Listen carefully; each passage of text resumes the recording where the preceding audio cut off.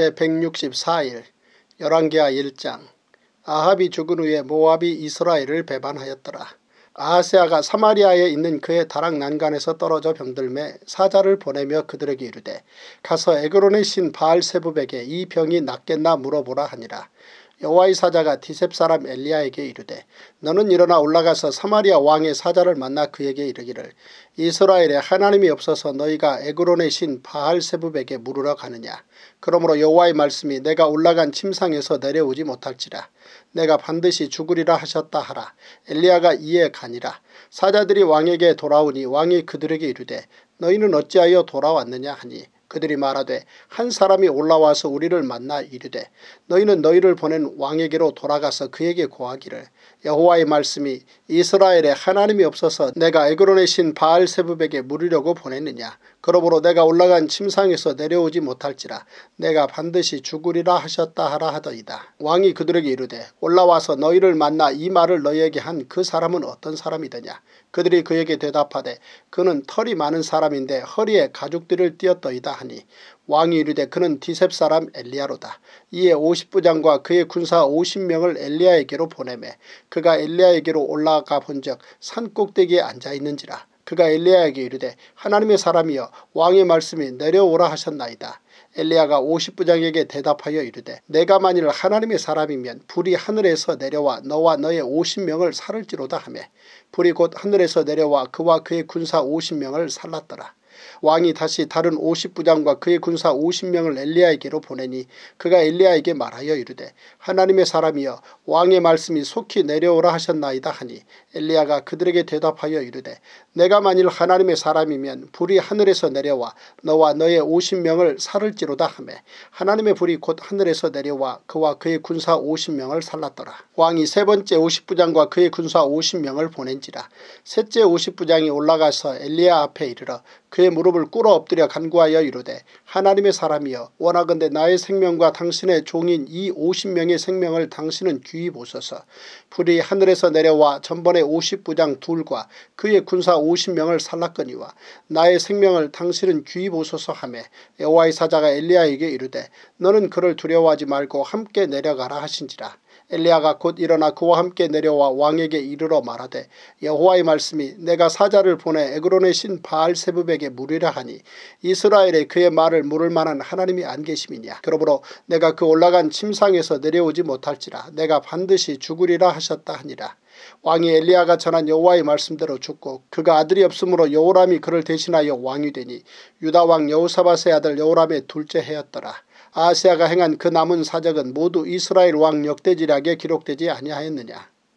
열왕기하 2장 여호와께서 회오리 바람으로 엘리야를 하늘로 올리고자 하실 때에 엘리야가 엘리사와 더불어 길갈에서 나가더니 엘리야가 엘리사에게 이르되 청하건대 너는 여기 머물라. 여호와께서 나를 베델로 보내시느니라 하니 엘리사가 이르되 여호와께서 살아계심과 당신의 영혼이 살아있음을 두고 맹세하노니 내가 당신을 떠나지 아니하겠나이다 하는지라. 이에 두 사람이 베델로 내려가니 베델에 있는 선지자의 제자들이 엘리사에게로 나와 그에게 이르되 여호와께서 오늘 당신의 선생을 당신의 머리 위로 데려가실 줄을 아시나이까 하니 이르되 나도 또한 아노니 너희는 잠잠하라 하니라.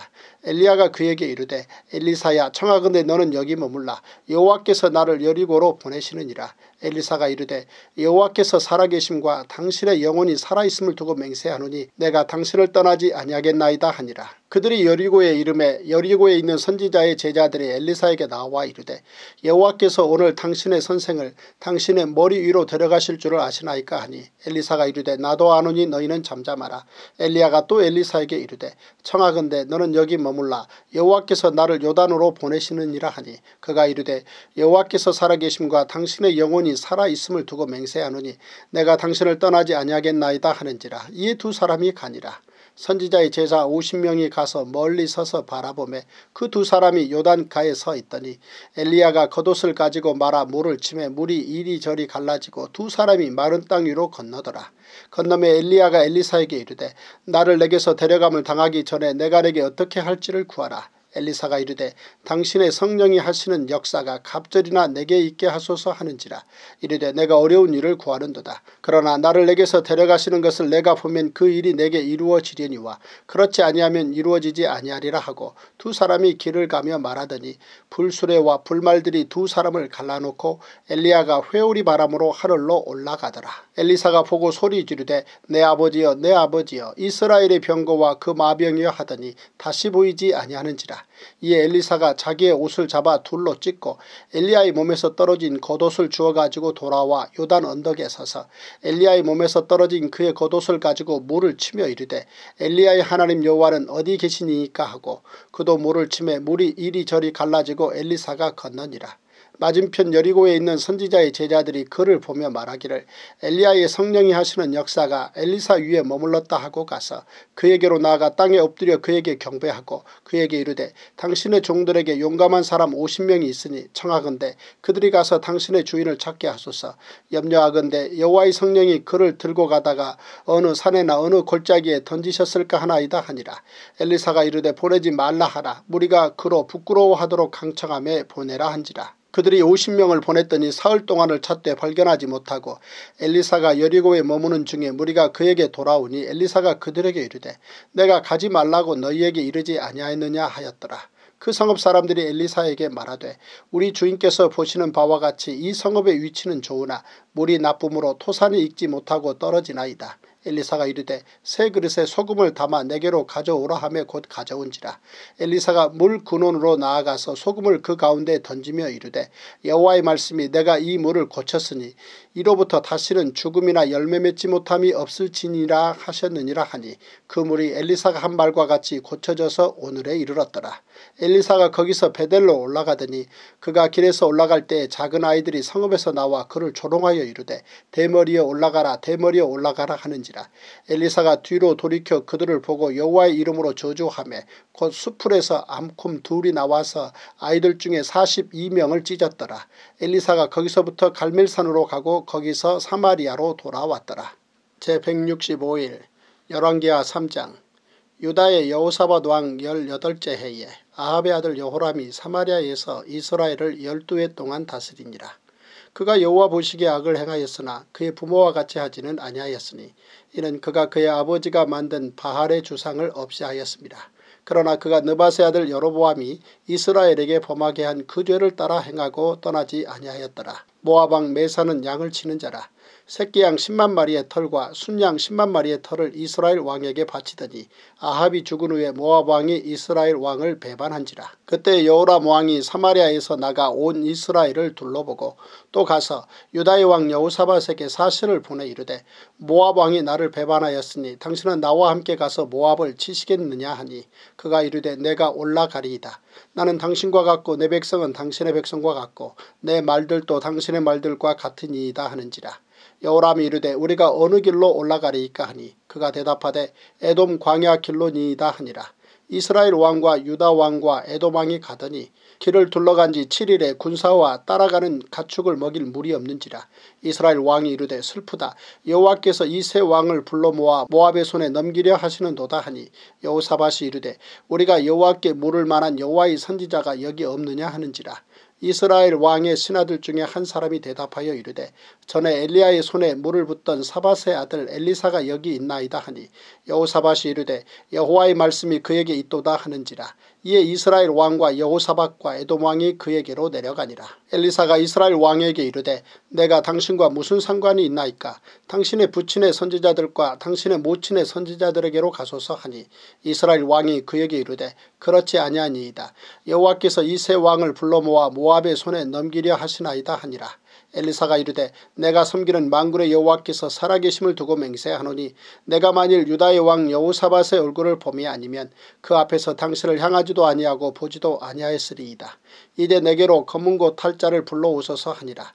검은고 타는 자가 검은고를 탈 때에 여호와의 손이 엘리사 위에 있더니 그가 이르되 여호와의 말씀이 이 골짜기에 개천을 많이 팔아 하셨나이다. 여호와께서 이르시기를 너희가 바람도 보지 못하고 비도 보지 못하되 이 골짜기에 물이 가득하여 너희와 너희 가축과 짐승이 마시리라 하셨나이다. 이것은 여호와께서 보시기에 작은 일이라. 여호와께서 모압 사람도 당신의 손에 넘기시리니 당신들이 모든 견고한 성읍과 모든 아름다운 성읍을 치고 모든 좋은 나무를 베고 모든 샘을 메우고 돌로 모든 좋은 밭을 헐리리다 하더니 아침이 되어 소재 드릴 때에 물이 에돔 쪽에서부터 흘러와 그 땅에 가득하였더라. 모압의 모든 사람은 왕들이 올라와서 자기를 치려 한다 함을 듣고 갑옷 입을 만한 자로부터 그 이상이 다 모여 그 경계에 서 있더라. 아침에 모압 사람이 일찍이 일어나서 해가 물에 비침으로 맞은편 물이 붉어 피와 같음을 보고 이르되 이는 피라 틀림없이 저 왕들이 싸워 서로 죽인 것이로다. 모압 사람들아 이제 노력하러 가자 하고 이스라엘 진에 이르니 이스라엘 사람이 일어나 모압 사람을 쳐서 그들 앞에서 도망하게 하고 그 지경에 들어가며 모압 사람을 치고 그 성읍들을 쳐서 헐고 각기 돌을 던져 모든 좋은 밭에 가득하게 하고 모든 샘을 메우고 모든 좋은 나무를 베고 기랄레셋에 돌들은 남기고 물매 꾼이 두루 다니며 치니라.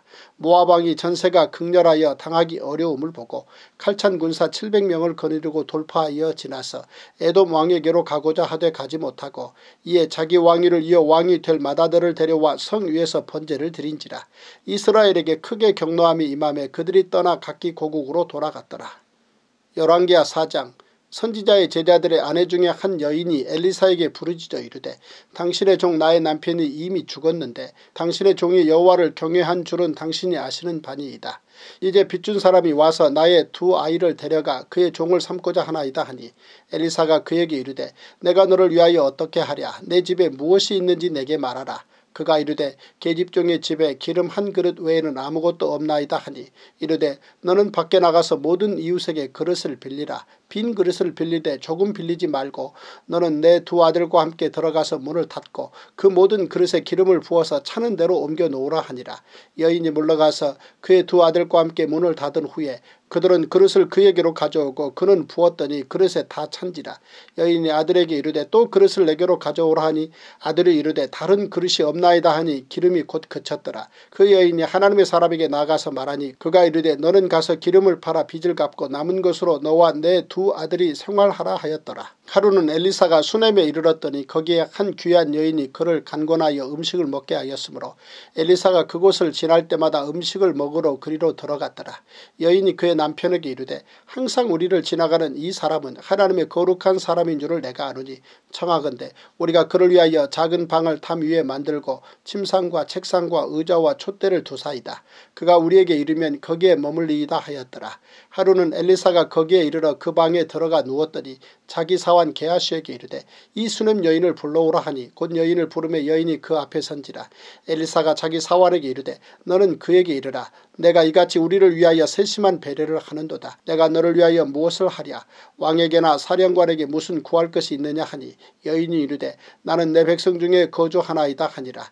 엘리사가 이르되 그러면 그를 위하여 무엇을 하여야 할까 하니 게하스가 대답하되 참으로 이 여인은 아들이 없고 그 남편은 늙었나이다 하니 이르되 다시 부르라 하여 부름에 여인이 문에 서니라. 엘리사가 이르되 한 해가 지나 이때쯤에 내가 아들을 안으리라 하니 여인이 이르되 아니로소이다. 내조 하나님의 사람이여 당신의 계집종을 속이지 마옵소서 하니라. 여인이 과연 잉태하여 한 해가 지나 이때쯤에 엘리사가 여인에게 말한 대로 아들을 낳았더라. 그 아이가 자라며 하루는 추수꾼들에게 나가서 그의 아버지에게 이르렀더니 그의 아버지에게 이르되 내 머리야 내 머리야 하는지라. 그의 아버지가 사원에게 말하여 그의 어머니에게로 데려가라 하며 곧 어머니에게로 데려갔더니 낮까지 어머니의 무릎에 앉아 있다가 죽은지라. 그의 어머니가 올라가서 아들을 하나님의 사람의 침상 위에 두고 문을 닫고 나와 그 남편을 불러 이르되 청하건대 사원 한 명과 나귀 한 마리를 내게로 보내소서. 내가 하나님의 사람에게 달려갔다가 돌아오리이다 하니 그 남편이 이르되 초하루도 아니요 안식일도 아니거를 그대가 오늘 어찌하여 그에게 나아가고자 하느냐 하는지라. 여인이 이르되 평안을 비나이다 하니라 이에 나귀의 안장을 지우고 자기 사환에게 이르되 몰고 가라 내가 말하지 아니하거든 나를 위하여 달려가기를 멈추지 말라 하고 드디어 갈멜산으로 가서 하나님의 사람에게로 나아가니라. 하나님의 사람이 멀리서 그를 보고 자기 사환 게하시에게 이르되 저기 수냄 여인이 있도다. 너는 달려가서 그를 맞아 이르기를 너는 평안하냐 내 남편이 평안하냐 아이가 평안하냐 하라 하였더니 여인이 대답하되 평안하다 하고 산에 이르러 하나님의 사람에게 나아가서 그 발을 아는지라. 게하시가 가까이 와서 그를 물리치고자 하며 하나님의 사람이 이르되 가만두라. 그의 영혼이 괴로워하지만은 여호와께서 내게 숨기시고 이르지 아니하셨도다 하니라. 여인이 이르되 내가 내 주께 아들을 구하더이까? 나를 속이지 말라고 내가 말하지 아니하더이까 하니? 엘리사가 게하스에게 이르되 내 허리를 묶고 내 지팡이를 손에 들고 가라. 사람을 만나거든 인사하지 말며 사람이 내게 인사할지라도 대답하지 말고 내 지팡이를 그 아이 얼굴에 놓으라 하는지라. 아이의 어머니가 이르되 여호와께서 살아계심과 당신의 영혼이 살아계심을 두고 맹세하노니 내가 당신을 떠나지 아니하리이다. 엘리사가 이에 일어나 여인을 따라가니라. 게하시가 그들보다 앞서가서 지팡이를 그 아이의 얼굴에 놓았으나 소리도 없고 듣지도 아니하는지라 돌아와서 엘리사를 맞아 그에게 말하여 아이가 깨지 아니하였나이다 하니라. 엘리사가 집에 들어가 보니 아이가 죽었는데 자기의 침상에 눕혔는지라. 들어가서는 문을 닫으니 두 사람뿐이라. 엘리사가 여호와께 기도하고 아이 위에 올라 엎드려 자기 입을 그의 입에 자기 눈을 그의 눈에 자기 손을 그의 손에 대고 그의 몸에 엎드리니 아이의 살이 차차 따뜻하더라. 엘리사가 내려서 집 안에서 한 번 이리저리 다니고 다시 아이 위에 올라 엎드리니 아이가 일곱 번 재채기하고 눈을 뜨는지라. 엘리사가 게하시를 불러 저 수냄 여인을 불러오라 하니 곧 부름에 여인이 들어 가니 엘리사가 이르되 내 아들을 데리고 가라 하니라. 여인이 들어가서 엘리사의 발 앞에서 땅에 엎드려 절하고 아들을 안고 나가니라. 엘리사가 다시 길갈에 이르니 그 땅에 흉년이 들었는데 선지자의 제자들이 엘리사의 앞에 앉은지라. 엘리사가 자기 사원에게 이르되 큰 솥을 걸고 선지자의 제자들을 위하여 국을 끓이라 하며 한 사람이 채소를 캐러 들에 나가 들포도 덩쿨을 만나 그것에서 들호박을 따서 옷자락에 채워가지고 돌아와 썰어 국 끓이는 솥에 넣되 그들은 무엇인지 알지 못한지라. 이에 퍼다가 무리에게 주어 먹게 하였더니 무리가 국을 먹다가 그들이 외쳐 이르되 하나님의 사람이여 솥에 죽음의 독이 있나이다 하고 능히 먹지 못하는지라. 엘리사가 이르되 그러면 가루를 가져오라 하여 솥에 던지고 이르되 퍼다가 무리에게 주어 먹게 하라 하매 이에 솥 가운데 독이 없어지니라. 한 사람이 바알 살리사에서부터 와서 처음 만든 떡 곧 보리떡 20개와 또 자루에 담은 채소를 하나님의 사람에게 드린지라. 그가 이르되 무리에게 주어 먹게 하라. 그 사원이 이르되 내가 어찌 이것을 백명에게 주겠나이까 하나. 엘리사는 또 이르되 무리에게 주어 먹게 하라. 여호와의 말씀이 그들이 먹고 남으리라 하셨느니라. 그가 그들 앞에 주었더니 여호와 여호와께서 말씀하신 대로 먹고 남았더라. 열왕기하 5장 아람왕의 군대장관 나아만은 그의 주인 앞에서 크고 존귀한 자니 이는 여호와께서 전에 그에게 아람을 구원하게 하셨습니다. 그는 큰 용사이나 나병 환자더라. 전에 아람 사람이 떼를 지어 나가서 이스라엘 땅에서 어린 소녀 하나를 사로잡음에 그가 나만의 아내에게 수종들더니 그의 여주인에게 이르되 우리 주인이 사마리아에 계신 선지자 앞에 계셨으면 좋겠나이다. 그가 그 나병을 고치리이다 하는지라. 나만이 들어가서 그의 주인께 아뢰어 이르되 이스라엘 땅에서 온 소녀의 말이 이러이러하더이다 하니 아람 왕이 이르되 갈지어다 이제 내가 이스라엘 왕에게 그를 보내리라 하더라. 나만이 곧 떠날 새 은 10달란트와 금 6천 개와 의복 10벌을 가지고 가서 이스라엘 왕에게 그 글을 전하니 일렀으되 내가 내 신하 나만을 당신에게 보내오니 이 글이 당신에게 이르거든 당신은 그의 나병을 고쳐주소서 하였더라. 이스라엘 왕이 그 글을 읽고 자기 옷을 찢으며 이르되 내가 사람을 죽이고 살리는 하나님이냐 그가 어찌하여 사람을 내게로 보내 그의 나병을 고치라 하느냐 너희는 깊이 생각하고 저 왕이 틈을 타서 나와 더불어 시비하려 함인 줄 알라 하니라. 하나님의 사람 엘리사가 이스라엘 왕이 자기의 옷을 찢었다함을 듣고 왕에게 보내 이르되 왕이 어찌하여 옷을 찢었나이까 그 사람을 내게로 오게 하소서 그가 이스라엘 중에 선지자가 있는 줄을 알리이다 하니라. 나만 이에 말들과 병거들을 거느리고 이르러 엘리사의 집문에 서니 엘리사가 사자를 그에게 보내 이르되 너는 가서 요단강에 몸을 일곱 번 씻으라. 내 살이 회복되어 깨끗하리라 하는지라. 나만이 노하여 물러가며 이르되 내 생각에는 그가 내게로 나와서서 그의 하나님 여호와의 이름을 부르고 그의 손을 그 부위 위에 흔들어 나병을 고칠까 하였도다. 다메섹강 아바나와 바르발은 이스라엘 모든 강물보다 낫지 아니하냐. 내가 거기서 몸을 씻으면 깨끗하게 되지 아니하랴 하고 몸을 돌려 분노하여 떠나니 그의 종들이 나와서 말하여 이르되 내 아버지여 선지자가 당신에게 큰 일을 행하라 말하였다면 행하지 아니하였으리이까 하물며 당신에게 이르기를 씻어 깨끗하게 하라 함이리이까 하니 나만이 이에 내려가서 하나님의 사람의 말대로 요단강에 일곱 번 몸을 잠그니 그의 살이 어린아이의 살같이 회복되어 깨끗하게 되었더라. 나만이 모든 군대와 함께 하나님의 사람에게로 돌아와서 그의 앞에 서서 이르되 내가 이제 이스라엘 외에는 온 천하에 신이 없는 줄을 아나이다. 청하건대 당신의 종에게서 예물을 받으소서 하니 이르되 내가 섬기는 여호와께서 살아계심을 두고 맹세하노니 내가 그 앞에서 받지 아니하리라 하였더라. 나만이 받으라고 강권하되 그가 거절하니라. 나만이 이르되 그러면 청하건대 노새 두 마리의 실을 흙을 당신의 종에게 주소서. 이제부터는 종이 번제물과 다른 희생제사를 여호와 외 다른 신에게는 드리지 아니하고 다만 여호와께 드리겠나이다. 오직 한 가지 일이 있사오니 여호와께서 당신의 종을 용서하시기를 원하나이다. 곧 내 주인께서 림몬의 신당에 들어가 거기서 경배하며 그가 내 손을 의지하시매 내가 림몬의 신당에서 몸을 굽히오니 내가 림몬의 신당에서 몸을 굽힐 때에 여호와께서 이 일에 대하여 당신의 종을 용서하시기를 원하나이다 하니 엘리사가 이르되 너는 평안히 가라 하니라. 그가 엘리사를 떠나 조금 가니라. 하나님의 사람 엘리사의 사환 게하시가 스스로 이르되 내 주인이 이 아람 사람 나만에게 면하여 주고 그가 가지고 온 것을 그의 손에서 받지 아니하였도다. 여호와께서 살아계심을 두고 맹세하노니 내가 그를 쫓아가서 무엇이든지 그에게서 받으리라 하고 나만의 뒤를 쫓아가니 나만이 자기 뒤에 달려옴을 보고 수레에서 내려 맞이하여 이르되 평안이냐 하니 그가 이르되 평안하나이다. 우리 주인께서 나를 보내시며 말씀하시기를 지금 선지자의 제자 중에 두 청년이 에브라임 산지에서부터 내게로 왔으니 청하건대 당신은 그들에게 은한 달란트와 옷 두 벌을 주라 하시더이다. 나만이 이르되 바라건대 두 달란트를 받으라 하고 그를 강권하여 은 두 달란트를 두 전대에 넣어 매고 옷 두 벌을 아울러 두 사원에게 지우매 그들이 게하시 앞에서 지고 가니라. 언덕에 이르러서는 게하시가 그 물건을 두 사원의 손에서 받아 집에 감추고 그들을 보내 가게 한 후 들어가 그의 주인 앞에 서니 엘리사가 이르되 게하시야 내가 어디서 오느냐 하니 대답하되 당신의 종이 아무데도 가지 아니하나이다 하니라. 엘리사가 이르되 한 사람이 수레에서 내려 너를 맞이할 때 내 마음이 함께 가지 아니하였느냐. 지금이 어찌 은을 받으며 옷을 받으며 감남원이나 포도원이나 양이나 소나 남종이나 여종을 받을 때이냐. 그러므로 나만의 나병이 내게 들어 내 자손에게 미쳐 영원토록 이르리라 하니 게하시가 그 앞에서 물러나오매 나병이 발하여 눈같이 되었더라. 제166일 열왕기하 6장 선지자의 제자들이 엘리사에게 이르되 보소서 우리가 당신과 함께 거주하는 이곳이 우리에게는 좁으니 우리가 요단으로 가서 거기서 각각 한 제목을 가져다가 그곳에 우리가 거주할 처소를 세우사이다 하니 엘리사가 이르되 가라 하는지라 그 하나가 이르되 청하건대 당신도 종들과 함께 하소서 하니 엘리사가 이르되 내가 가리라 하고 드디어 그들과 함께 가니라. 우리가 요단에 이르러 나무를 베더니 한 사람이 나무를 벨때 쇠도끼가 물에 떨어진지라 이에 외쳐 이르되 아 내 주여 이는 빌려온 것이니이다 하니 하나님의 사람이 이르되 어디 빠졌느냐 하며 그곳을 보이는지라. 엘리사가 나뭇가지를 베어 물에 던져 쇠도끼를 떠오르게 하고 이르되 너는 그것을 집으라 하니 그 사람이 손을 내밀어 그것을 집으니라. 그때 아람 왕이 이스라엘과 더불어 싸우며 그의 신복들과 의논하여 이르기를 우리가 아무데 아무데 진을 치리라 하였더니 하나님의 사람이 이스라엘 왕에게 보내 이르되 왕은 삼가 아무 곳으로 지나가지 마소서 아람 사람이 그곳으로 나오나이다 하는지라.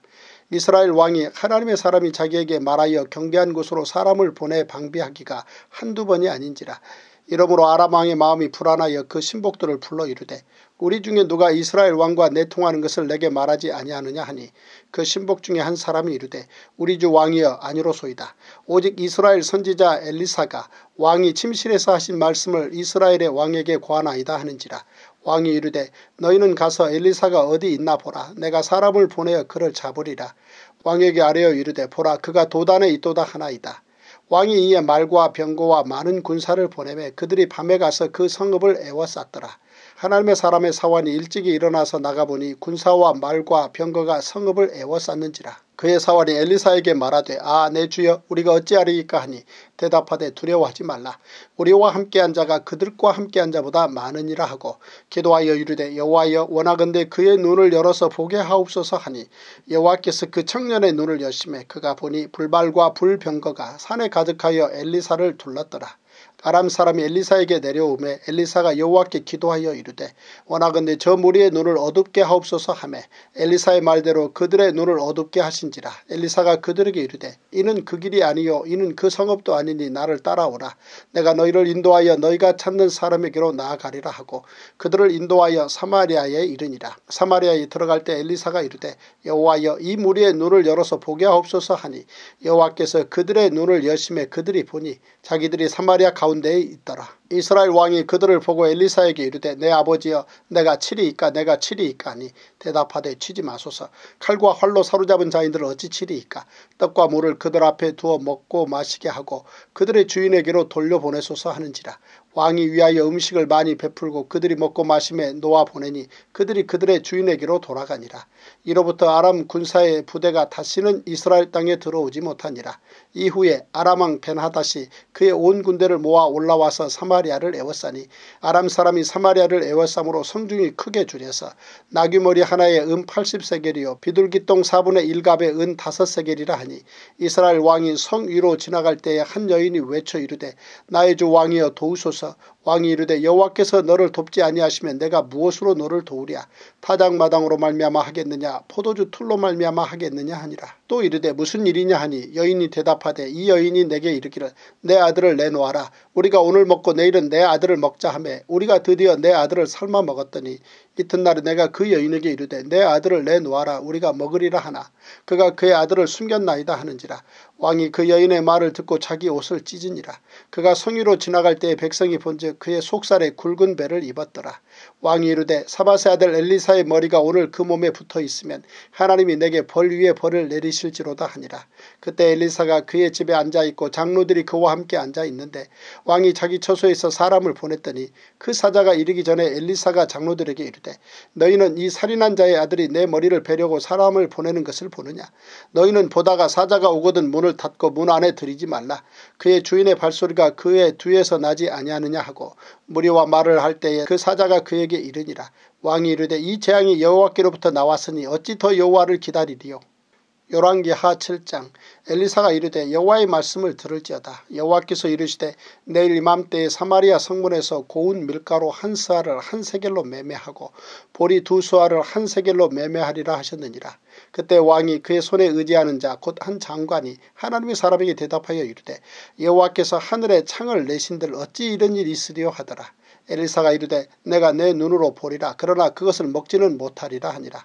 성문 어귀에 나병 환자 네 사람이 있더니 그 친구에게 서로 말하되 우리가 어찌하여 여기 앉아서 죽기를 기다리랴. 만일 우리가 성읍으로 가자고 말한다면 성읍에는 굶주림이 있으니 우리가 거기서 죽을 것이요. 만일 우리가 여기서 머무르면 역시 우리가 죽을 것이라. 그런즉 우리가 가서 아람 군대에게 항복하자. 그들이 우리를 살려두면 살 것이요. 우리를 죽이면 죽을 것이라 하고 아람 진으로 가려 하여 해질 무렵에 일어나 아람 진영 끝에 이르러서 본즉 그곳에 한 사람도 없으니 이는 주께서 아람 군대로 병거 소리와 말소리와 큰 군대의 소리를 듣게 하셨으므로 아람 사람이 서로 말하기를 이스라엘 왕이 우리를 치려하여 햇사람의 왕들과 애국 왕들에게 값을 주고 그들을 우리에게 오게 하였다 하고 해질 무렵에 일어나서 도망하되 그 장막과 말과 나귀를 버리고 진영을 그대로 두고 목숨을 위하여 도망하였습니다. 그 나병 환자들이 진영 끝에 이르자 한 장막에 들어가서 먹고 마시고 거기서 은과 금과 의복을 가지고 가서 감추고 다시 와서 다른 장막에 들어가 거기서도 가지고 가서 감추니라. 나병 환자들이 그 친구에게 서로 말하되 우리가 이렇게 해서는 아니 되겠도다. 오늘은 아름다운 소식이 있는 날이거늘 우리가 침묵하고 있도다. 만일 밝은 아침까지 기다리면 벌이 우리에게 미칠지니 이제 떠나 왕궁에 가서 알리자 하고 가서 성읍 문지기를 불러 그들에게 말하여 이르되 우리가 아람 진에 이르러서 보니 거기에 한 사람도 없고 사람의 소리도 없고 오직 말과 나귀만 매어 있고 장막들이 그대로 있더이다 하는지라. 그가 문지기들을 부르매 그들이 왕궁에 있는 자에게 말하니 왕이 밤에 일어나 그의 신복들에게 이르되 아람 사람이 우리에게 행한 것을 내가 너희에게 알게 하노니 그들이 우리가 줄인 것을 알고 있으므로 그 진영을 떠나서 들에 매복하고 스스로 이르기를 그들이 성읍에서 나오거든 우리가 사로잡고 성읍에 들어가겠다 한 것이니라 하니 그의 신하 중 한 사람이 대답하여 이르되 청하건대 아직 성중에 남아있는 말 다섯 마리를 취하고 사람을 보내 정탐하게 하소서. 그것들이 성중에 남아있는 이스라엘 온 무리 곧 멸망한 이스라엘 온 무리와 같으니이다 하고 그들이 병거 둘과 그 말들을 취한지라 왕이 아람 군대 뒤로 보내며 가서 정탐하라 하였더니 그들이 그들의 뒤를 따라 요단에 이른즉 아람 사람이 급히 도망하느라고 버린 의복과 병기가 길에 가득하였더라. 사자가 돌아와서 왕에게 알리니 백성들이 나가서 아람 사람의 진영을 노략한지라. 이에 고운 밀가루 한 스아에 한 세겔이 되고 보리 두 스아가 한 세겔이 되니 여호와의 말씀과 같이 되었고 왕이 그의 손에 의지하였던 그의 장관을 세워 성문을 지키게 하였더니 백성이 성문에서 그를 밟음에 하나님의 사람의 말대로 죽었으니 곧곧 왕이 내려왔을 때 그가 말한 대로라. 하나님의 사람이 왕에게 말한 바와 같으니 이르기를 내일 이맘때에 사마리아 성문에서 보리 두 수알을 한 세겔로 매매하고 고운 밀가루 한 수알을 한 세겔로 매매하리라 한즉 그때 이 장관이 하나님의 사람에게 대답하여 이르되 여호와께서 하늘의 창을 내신들 어찌 이 일이 있으랴 하매 대답하기를 내가 내 눈으로 보리라 그러나 그것을 먹지는 못하리라 하였더니 그의 장관에게 그대로 이루어졌으니 곧 백성이 성문에서 그를 밟음에 죽었더라. 열왕기하 8장 엘리사가 이전에 아들을 다시 살려준 여인에게 이르되 너는 일어나서 내 가족과 함께 거주할 만한 곳으로 가서 거주하라. 여호와께서 기근을 부르셨으니 그대로 이 땅에 7년 동안 이 말이라 하니 여인이 일어나서 하나님의 사람의 말대로 행하여 그의 가족과 함께 가서 블레셋 사람들의 땅에 7년을 우거하다가 7년이 다음에 여인이 블레셋 사람들의 땅에서 돌아와 자기 집과 전토를 위하여 호소하려 하여 왕에게 나아갔더라. 그때 왕이 하나님의 사람의 사환 게하시와 서로 말하며 이르되 너는 엘리사가 행한 모든 큰 일을 내게 설명하라 하니 게하스가 곧 엘리사가 죽은 자를 다시 살린 일을 왕에게 이야기할 때에 그 다시 살린 아이의 어머니가 자기 집과 전토를 위하여 왕에게 호소하는지라 게하스가 이르되 내 주 왕이여 이는 그 여인이요 저는 그의 아들이니 곧 엘리사가 다시 살린 자니이다 하니라. 왕이 그 여인에게 물음에 여인이 설명한지라 왕이 그를 위하여 한 관리를 임명하여 이르되 이 여인에게 속한 모든 것과 이 땅에서 떠날 때부터 이제까지 그의 밭의 소출을 다 돌려주라 하였더라. 엘리사가 다메섹에 갔을 때 아람왕 베나다시 병들었더니 왕에게 들리기를 이르되 하나님의 사람이 여기 이르렀나이다 하니 왕이 하사엘에게 이르되 너는 손에 예물을 가지고 가서 하나님의 사람을 맞이하고 내가 이 병에서 살아나겠는지 그를 통하여 여호와께 물으라. 하사엘이 그를 맞이하러 갈새 다메섹의 모든 좋은 물품으로 예물을 삼아가지고 낙타 40마리에 싣고 나아가서 그의 앞에 서서 이르되 당신의 아들 아람왕 베나다시 나를 당신에게 보내 이르되 나의 이 병이 낫겠나이까 하더이다 하니 엘리사가 이르되 너는 가서 그에게 말하기를 왕이 반드시 나으리라 하라. 그러나 여호와께서 그가 반드시 죽으리라고 내게 알게 하셨느니라 하고 하나님의 사람이 그가 부끄러워하기까지의 그의 얼굴을 쏘아보다가 우니 하사일이 이르되 내 주에 어찌하여 우시나이까 하는지라 대답하되 내가 이스라엘 자손에게 행할 모든 악을 내가 알미라 내가 그들의 성에 불을 지르며 장정을 칼로 죽이며 어린아이를 맺히며 아이벤 부녀를 가리리라 하니 하사일이 이르되 당신의 개같은 종이 무엇이기에 이런 큰일을 행하오리이까 하더라. 엘리사가 대답하되 여호와께서 내가 아람왕이 될 것을 내게 알게 하셨느니라 하더라. 그가 엘리사를 떠나가서 그의 주인에게 나아가니 왕이 그에게 묻되 엘리사가 내게 무슨 말을 하더냐 하니 대답하되 그가 내게 이르기를 왕이 반드시 살아나시리이다 하더이다 하더라. 그 이튿날에 하사엘이 이불을 물에 적시어 왕의 얼굴에 덮음에 왕이 죽은지라 그가 대신하여 왕이 되니라. 이스라엘의 왕 아합의 아들 요람 제5년에 여우사밧이 유다의 왕이었을 때에 유다의 왕 여우사밧의 아들 여우람이 왕이 되니라. 여우람이 왕이 될 때 나이가 32세라. 예루살렘에서 8년 동안 통치하니라. 그가 이스라엘 왕들의 길을 가서 아합의 집과 같이 하였으니 이는 아합의 딸이 그의 아내가 되었습니다. 그가 여호와 보시기에 악을 행하였으나 여호와께서 그의 종 다윗을 위하여 유다 멸하기를 줄게 하지 아니하셨으니 이는 그와 그의 자손에게 항상 등불을 주겠다고 말씀하셨습니다.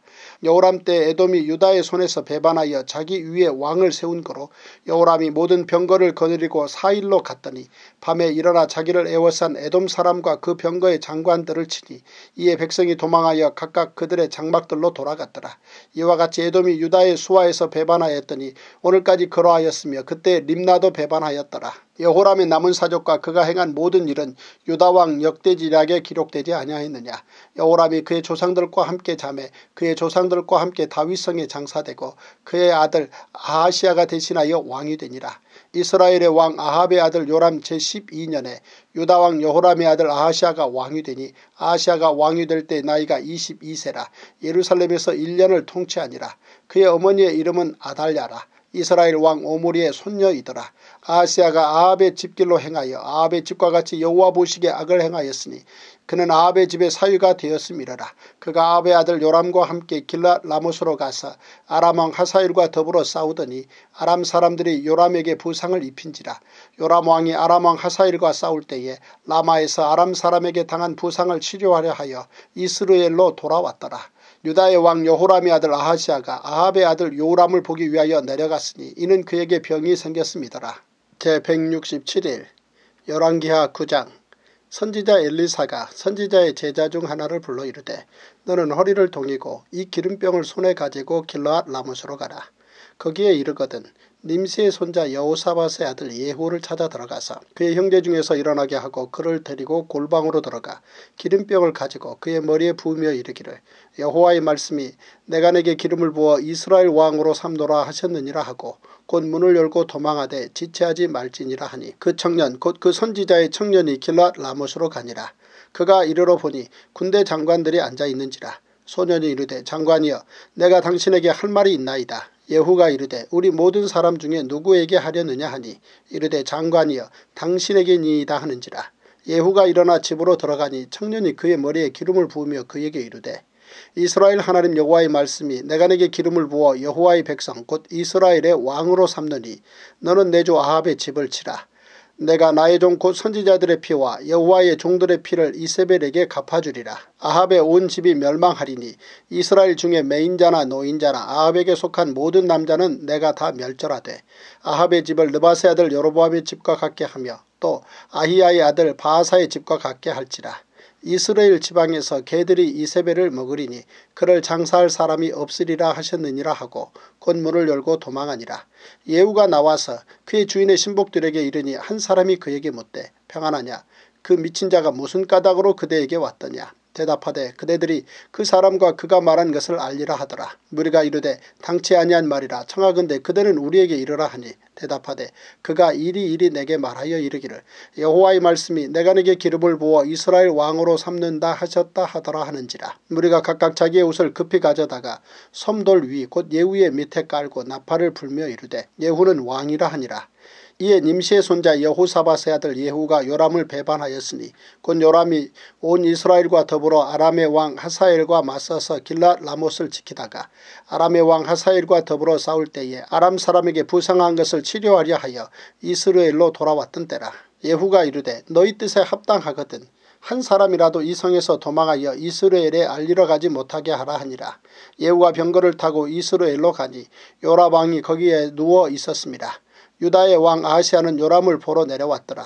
이스라엘 망대에 파수꾼 하나가 서 있더니 예후의 무리가 오는 것을 보고 이르되 내가 한 무리를 보나이다 하니 요람이 이르되 한 사람을 말에 태워 보내어 맞이하여 평안하냐 묻게 하라 하는지라 한 사람이 말을 타고 가서 만나 이르되 왕의 말씀이 평안하냐 하시더이다 하매 예후가 이르되 평안이 내게 상관이 있느냐? 내 뒤로 물러나라 하니라. 파수꾼이 전하여 이르되 사자가 그들에게 갔으나 돌아오지 아니하나이다 하는지라. 다시 한 사람을 말에 태워 보내었더니 그들에게 가서 이르되 왕의 말씀이 평안하냐 하시더이다 하매 예후가 이르되 평안이 내게 상관이 있느냐? 내 뒤를 따르라 하더라. 파수꾼이 또 전하여 이르되 그도 그들에게까지 갔으나 돌아오지 아니하고 그 병거 모는 것이 림시의 손자 예후가 모는 것 같이 미치게 모나이다 하니 요람이 이르되 메우라 하며 그의 병거를 메운지라. 이스라엘 왕 요람과 유다 왕 아하시아가 각각 그의 병거를 타고 가서 예후를 맞을세 이스라엘 사람 나봇의 토지에서 만나매 요람이 예후를 보고 이르되 예후야 평안하냐 하니 대답하되 내 어머니 이세벨의 음행과 술수가 이렇게 많으니 어찌 평안이 있으랴 하더라. 요람이 곧 손을 돌이켜 도망하며 아세아에게 이르되 아시아여 반역이로다 하니 예후가 힘을 다하여 활을 당겨 요람의 두 팔 사이를 쏘니 화살이 그의 염통을 꿰뚫고 나오매 그가 병거 가운데 엎드러진지라. 예후가 그의 장관 빛깔에게 이르되 그 시체를 가져다가 이스라엘 사람 나봇의 밭에 던지라. 내가 기억하려니와 이제는 너와 내가 함께 타고 그의 아버지 아합을 쫓았을 때에 여호와께서 이같이 그의 일을 예언하셨느니라. 여호와께서 말씀하시기를 내가 어제 나봇의 피와 그의 아들들의 피를 분명히 보았노라. 여호와께서 또 말씀하시기를 이 토지에서 내게 갚으리라 하셨으니 그런즉 여호와의 말씀대로 그의 시체를 가져다가 이 밭에 던질지니라 하는지라. 유다의 왕 아하시아가 이를 보고 정원의 정작길로 도망하니 예후가 그 뒤를 쫓아가며 이르되 그도 병거 가운데서 죽이라 하며 이블르암 가까운 구루 비탈에서 치니 그가 무기토까지 도망하여 거기서 죽은지라. 그의 신복들이 그를 병거에 싣고 예루살렘에 이르러 다윗성에서 그들의 조상들과 함께 그의 묘실에 장사하니라. 아합의 아들 요람의 제11년에 아하시아가 유다 왕이 되었었더라. 예후가 이스라엘에 오니 이세벨이 듣고 눈을 그리고 머리를 꾸미고 창에서 바라보다가 예후가 문에 들어오매 이르되 주인을 죽인 너 시물이여 평안하냐 하니? 예후가 얼굴을 들어 창을 향하고 이르되 내 편이 될 자가 누구냐 누구냐 하니?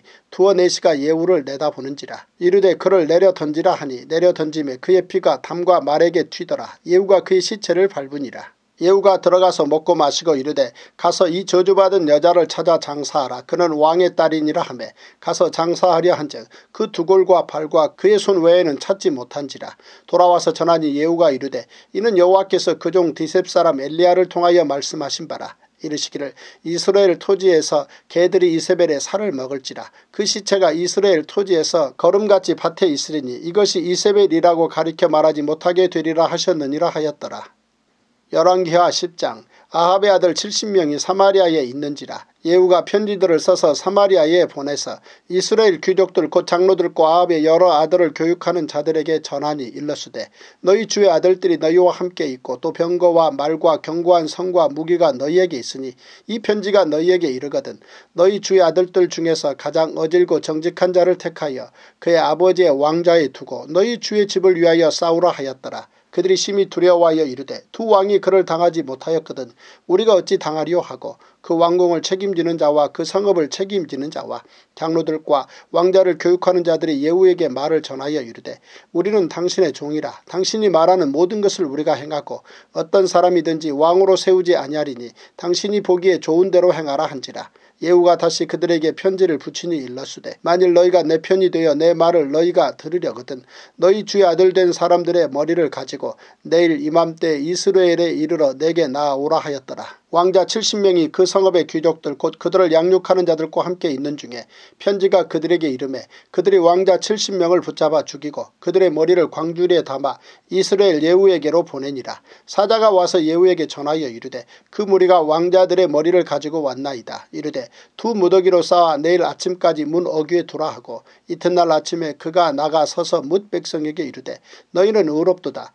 나는 내 주를 배반하여 죽였거니와 이 여러 사람을 죽인 자는 누구냐. 그 런즉 이제 너희는 알라. 곧 여호와께서 아합의 집에 대하여 하신 말씀은 하나도 땅에 떨어지지 아니하리라.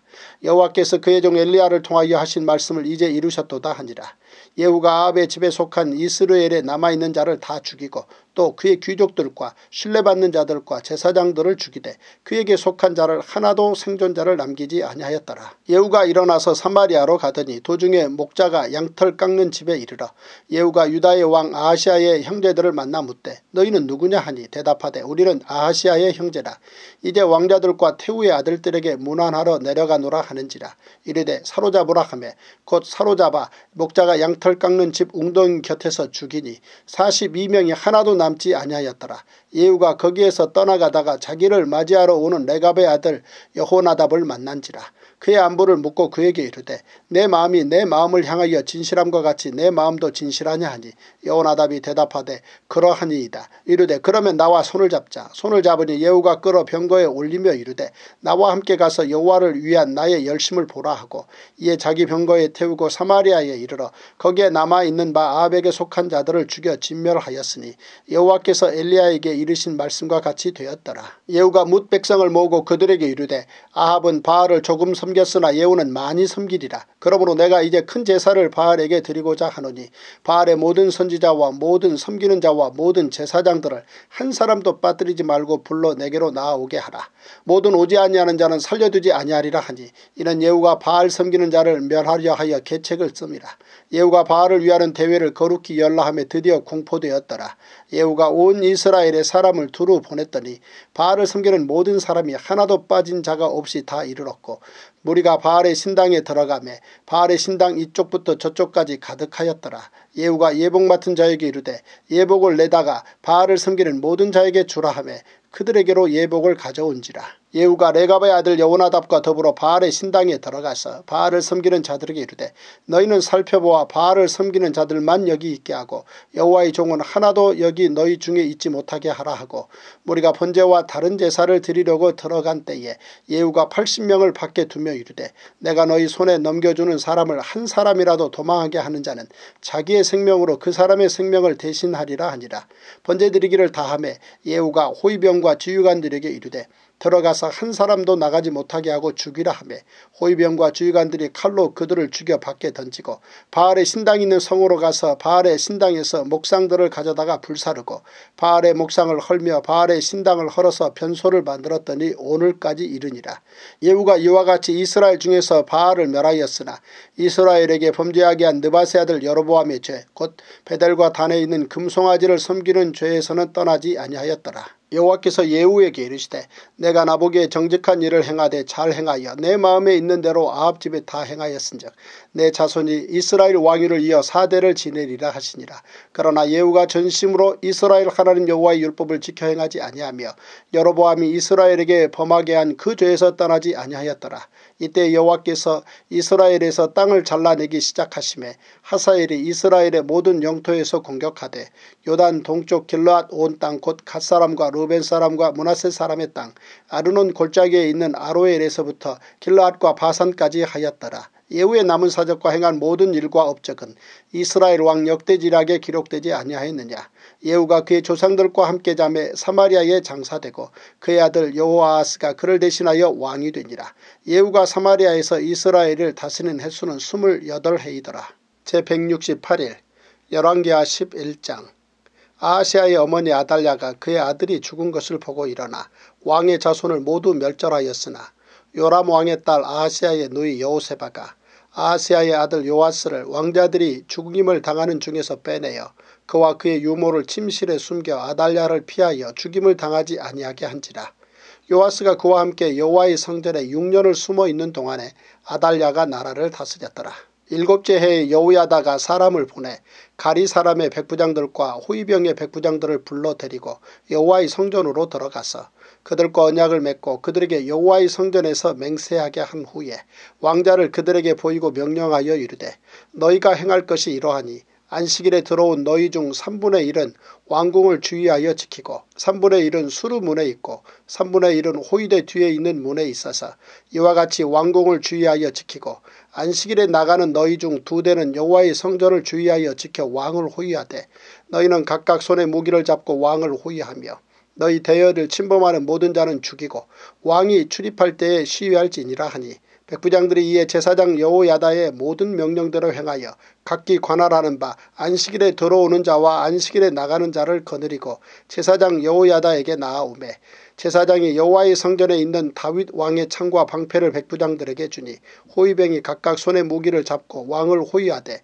성전 오른쪽에서부터 왼쪽까지 재단과 성전 곁에 서고 여호야다가 왕자를 인도하여 내어 왕관을 씌우며 율법책을 주고 기름을 부어 왕으로 삼음에 무리가 박수하며 왕의 만세를 부르니라. 아달랴가 호위병과 백성의 소리를 듣고 여호와의 성전에 들어가 백성에게 이르러 보매 왕이 규례대로 단 위에 섰고 장관들과 나팔수가 왕의 곁에 모셔 섰으며 온 백성이 즐거워하여 나팔을 부는지라 아달랴가 옷을 찢으며 외치되 반역이로다 반역이로다 하매 제사장 여호야다가 군대를 거느린 백부장들에게 명령하여 이르되 그를 대열 밖으로 몰아내라 그를 따르는 자는 모두 칼로 죽이라 하니 제사장의 이 말은 여호와의 성전에서는 그를 죽이지 말라 함이라 이에 그의 길을 열어주매 그가 왕궁에 말이 다니는 길로 가다가 거기서 죽임을 당하였더라.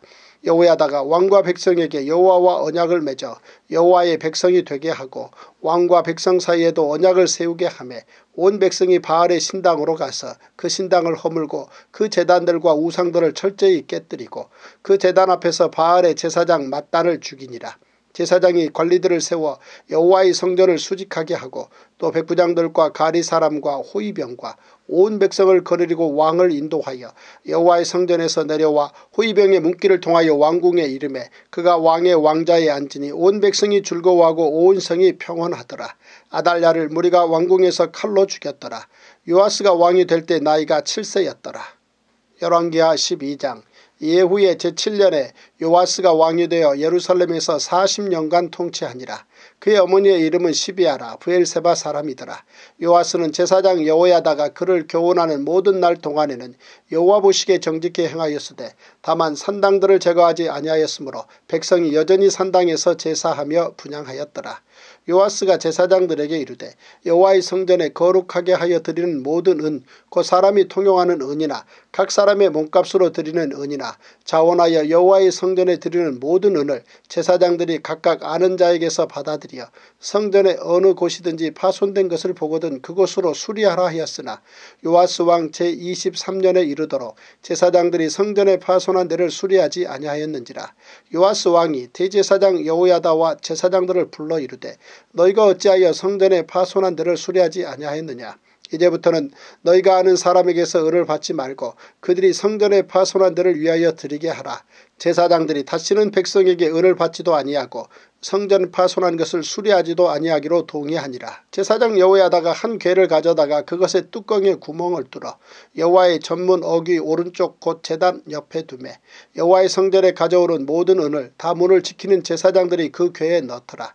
이에 그괴 가운데 은이 많은 것을 보면 왕의 서기와 대제사장이 올라와서 여호와의 성전에 있는 대로 그 은을 계산하여 봉하고 그 달아본 은을 일하는 자 곧 여호와의 성전을 맡은 자의 손에 넘기면 그들은 또 여호와의 성전을 수리하는 목수와 건축하는 자들에게 주고 또 미장이와 석수에게 주고 또 여호와의 성전 파손한 데를 수리할 제목과 다듬은 돌을 사게 하며 그 성전을 수리할 모든 물건을 위하여 쓰게 하였으되 여호와의 성전에 드린 그 은으로 그 성전의 은대접이나 불집게나 주발이나 나팔이나 아무 근 그릇이나 은그릇도 만들지 아니하고 그 은을 일하는 자에게 주어 그것으로 여호와의 성전을 수리하게 하였으며 또 그 은을 받아 일꾼에게 주는 사람들과 회개하지 아니하였으니 이는 그들이 성실히 일을 하였습니다. 속건제의 은과 속죄제의 은은 여호와의 성전에 드리지 아니하고 제사장에게 돌렸더라. 그때 아람왕 하사엘이 올라와서 가드를 쳐서 점령하고 예루살렘을 향하여 올라오고자 하므로 유다의 왕 요아스가 그의 조상들 유다왕 여호사박과 여호람과 아하시아가 구별하여 드린 모든 성물과 자기가 구별하여 드린 성물과 여호와의 성전 곡간과 왕궁에 있는 금을 다 가져다가 아람왕 하사엘에게 보냈더니 하사엘이 예루살렘에서 떠나갔더라. 요아스의 남은 사적과 그가 행한 모든 일은 유다왕 역대지략에 기록되지 아니하였느냐. 요아스의 신복들이 일어나 반역하여 신라로 내려가는 길가에 밀로 궁에서 그를 죽였고 그를 쳐서 죽인 신복은 시무아스의 아들 요사갈과 소멜의 아들 여호사바드였더라. 그는 다윗성에 그의 조상들과 함께 장사되고 그의 아들 아마샤가 그를 대신하여 왕이 되니라. 열왕기하 13장 유다의 왕 아하스야의 아들 요아스의 제23년에 예후의 아들 여호아하스가 사마리아에서 이스라엘 왕이 되어 17년간 다스리며 여호와 보시기에 악을 행하여 이스라엘에게 범죄하게 한 느바세 아들 여로보암의 죄를 따라가고 거기서 떠나지 아니하였으므로 여호와께서 이스라엘에게 노하사 늘 아람왕 하사엘의 손과 그의 아들 베나닷의 손에 넘기셨더니 아람왕이 이스라엘을 학대함으로 여호아스가 여호와께 간구하며 여호와께서 들으셨으니 이는 그들이 학대받음을 보셨습니다. 여호와께서 이에 구원자를 이스라엘에게 주심에 이스라엘 자손이 아람 사람의 손에서 벗어나 전과 같이 자기 장막에 거하였으나 그들이 이스라엘에게 범죄하게 한 여로보암 집의 죄에서 떠나지 아니하고 그 안에서 따라 행하며 또 사마리아의 아세라 목상을 그냥 두었더라. 아람왕이 여호아하스의 백성을 멸절하여 타작마당에 티끌같이 되게 하고 마병 50명과 병거 10대와 보병 만명 외에는 여호아하스에게 남겨두지 아니하였더라. 여호아스의 남은 사적과 행한 모든 일과 그의 업적은 이스라엘 왕 역대지략에 기록되지 아니하였느냐. 여호아스가 그의 조상들과 함께 잠에 사마리아에 장사되고 그 아들 요아스가 대신하여 왕이 되니라. 유다의 왕 요아스의 제37년에 여호아스의 아들 요아스가 사마리아에서 이스라엘 왕이 되어 16년간 다스리며 여호와께서 보시기에 악을 행하여 이스라엘에게 범죄하게 한 느바세 아들 여로보암의 모든 죄에서 떠나지 아니하고 그 가운데 행하였더라. 요아스의 남은 사적과 행한 모든 일과 유다 왕 아마샤와 싸운 그의 업적은 이스라엘 왕 역대지략에 기록되지 아니하였느냐. 요아스가 그의 조상들과 함께 잠에 이스라엘 왕들과 함께 사마리아에 장사되고 여로보암이 그 자리에 앉으니라. 엘리사가 죽을 병이 들매 이스라엘의 왕 요아스가 그에게로 내려와 자기의 얼굴에 눈물을 흘리며 이르되 내 아버지여 내 아버지여 이스라엘의 병거와 마병이여 하매 엘리사가 그에게 이르되 활과 화살들을 가져오소서 하는지라 활과 화살들을 그에게 가져오매 또 이스라엘 왕에게 이르되 왕의 손으로 활을 잡으소서 하매 그가 손으로 잡으니 엘리사가 자기 손을 왕의 손 위에 얹고 이르되 동쪽 창을 여소서 하여 곧 열매. 엘리사가 이르되 쏘소서 하는지라 곧 쏘매 엘리사가 이르되 이는 여호와를 위한 구원의 화살 곧 아람에 대한 구원의 화살이지 왕이 아람 사람을 멸절하도록 아벡에서 치리이다 하니라. 또 이르되 화살들을 집으소서. 곧 집음에 엘리사가 또 이스라엘 왕에게 이르되 땅을 치소서 하는지라. 이에 세 번 치고 그친지라. 하나님의 사람이 노하여 이르되 왕이 대여섯 번을 칠 것이니이다. 그리하였다면 왕이 아람을 진멸하기까지 쳤으리이다. 그런즉 이제는 왕이 아람을 세 번만 치리이다 하니라. 엘리사가 죽으니 그를 장사하였고 해가 바뀌매 모압 도적대들이 그 땅에 온지라 마침 사람을 장사하는 자들이 그 도적대를 보고 그의 시체를 엘리사의 묘실에 들이던짐에 시체가 엘리사의 뼈에 닿자 곧 회생하여 일어섰더라. 여호아하스 왕의 시대에 아람왕 하사엘이 항상 이스라엘을 학대하였으나 여호와께서 아브라함과 이삭과 야곱과 더불어 세우신 언약 때문에 이스라엘에게 은혜를 베풀며 그들을 불쌍히 여기시며 돌보사 멸하기를 즐겨하지 아니하시고 이때까지 자기 앞에서 쫓아내지 아니하셨더라. 아람의 왕 하사엘이 죽고 그의 아들 베나다시 대신하여 왕이 되매 여호아스의 아들 요아스가 하사엘의 아들 베나닷의 손에서 성읍을 다시 빼앗으니 이 성읍들은 자기 붙인 여호아스가 전쟁 중에 빼앗겼던 것이라. 요아스가 베나닷을 세 번 쳐서 무찌르고 이스라엘 성읍들을 회복하였더라. 열왕기하 14장 이스라엘의 왕 요아스의 아들 요아스 제2년에 유다의 왕 요아스의 아들 아마샤가 왕이 되니 그가 왕이 된 때에 나이 25세라. 예루살렘에서 29년간 다스리니라. 그의 어머니의 이름은 여호아따니요 예루살렘 사람이더라. 아마샤가 여호와 보시기에 정직해 행하였으나 그의 조상 다윗과는 같지 아니하였으며 그의 아버지 요아스가 행한 대로 다 행하였어도 오직 산당들을 제거하지 아니하였으므로 백성이 여전히 산당에서 제사를 드리며 분양하였더라. 나라가 그의 손에 굳게 섬에 그의 부왕을 죽인 신복들을 죽였으나 왕을 죽인 자의 자녀들은 죽이지 아니하였으니 이는 모세 율법책에 기록된 대로 함이라. 곧 여호와께서 명령하여 이르시기를 자녀로 말미암아 아버지를 죽이지 말 것이요 아버지로 말미암아 자녀를 죽이지 말 것이라. 오직 사람마다 자기의 죄로 말미암아 죽을 것이니라 하셨더라. 아마샤가 소금 골짜기에서 에돔 사람 만 명을 죽이고 또 전쟁을 하여 셀라를 취하고 이름을 욕두엘이라 하였더니 오늘까지 그러하니라. 아마샤가 예후의 손자 여호아스의 아들 이스라엘의 왕 요아스에게 사자를 보내 이르되 오라 우리가 서로 대면하자 한지라. 이스라엘의 왕 요아스가 유다의 왕 아마샤에게 사람을 보내 이르되 레바논 가시나무가 레바논 백향목에게 전가를 보내어 이르기를 내 딸을 내 아들에게 주어 아내로 삼게 하라 하였더니 레바논 들짐승이 지나가다가 그 가시나무를 짓밟았느니라 내가 애돔을 쳐서 파하였으므로 마음이 교만하였으니 스스로 영광을 삼아 왕궁이나 내 집으로 돌아가라. 어찌하여 화를 자취하여 너와 유다가 함께 망하고자 하느냐 하나 아마샤가 듣지 아니하므로 이스라엘의 왕 요아스가 올라와서 그와 유다의 왕 아마샤가 유다의 베스메스에서 대변하였더니 유다가 이스라엘 앞에서 패하여 각기 장막으로 도망한지라 이스라엘 왕 요아스가 베스메스에서 아하스야의 손자 요아스의 아들 유다 왕 아마샤를 사로잡고 예루살렘에 이르러 예루살렘 성벽을 에브라임 문에서부터 성 모퉁이 문까지 400규빗을 헐고 또 여호와의 성전과 왕궁 곳간에 있는 금은과 모든 기명을 탈취하고 또 사람을 볼모로 잡고서 사마리아로 돌아갔더라. 요아스의 남은 사적과 그의 업적과 또 유다의 왕 아마샤와 싸운 일은 이스라엘 왕 역대지락에 기록되지 아니하였느냐. 요아스가 그의 조상들과 함께 잠에 이스라엘 왕들과 사마리아에 함께 장사되고 그의 아들 여로보암이 대신하여 왕이 되니라. 이스라엘 왕 요아스의 아들 요아스가 죽은 후에도 유다의 왕 요아스의 아들 아마샤가 15년간을 생존하였더라. 아마샤의 남은 행적은 유다왕 역대지략에 기록되지 아니하였느냐. 예루살렘에서 무리가 그를 반역한 고로 그가 라기스로 도망하였더니 반역한 무리가 사람을 라기스로 따라 보내 그를 거기서 죽이게 하고 그 시체를 말에 실어다가 예루살렘에서 그의 조상들과 함께 다윗성에 장사하니라. 유다 온 백성이 아사랴를 그의 아버지 아마샤를 대신하여 왕으로 삼으니 그때 그의 나이가 16세라. 아마샤가 그의 조상들과 함께 잔 후에 아사랴가 엘랏을 건축하여 유다에 복귀시켰더라.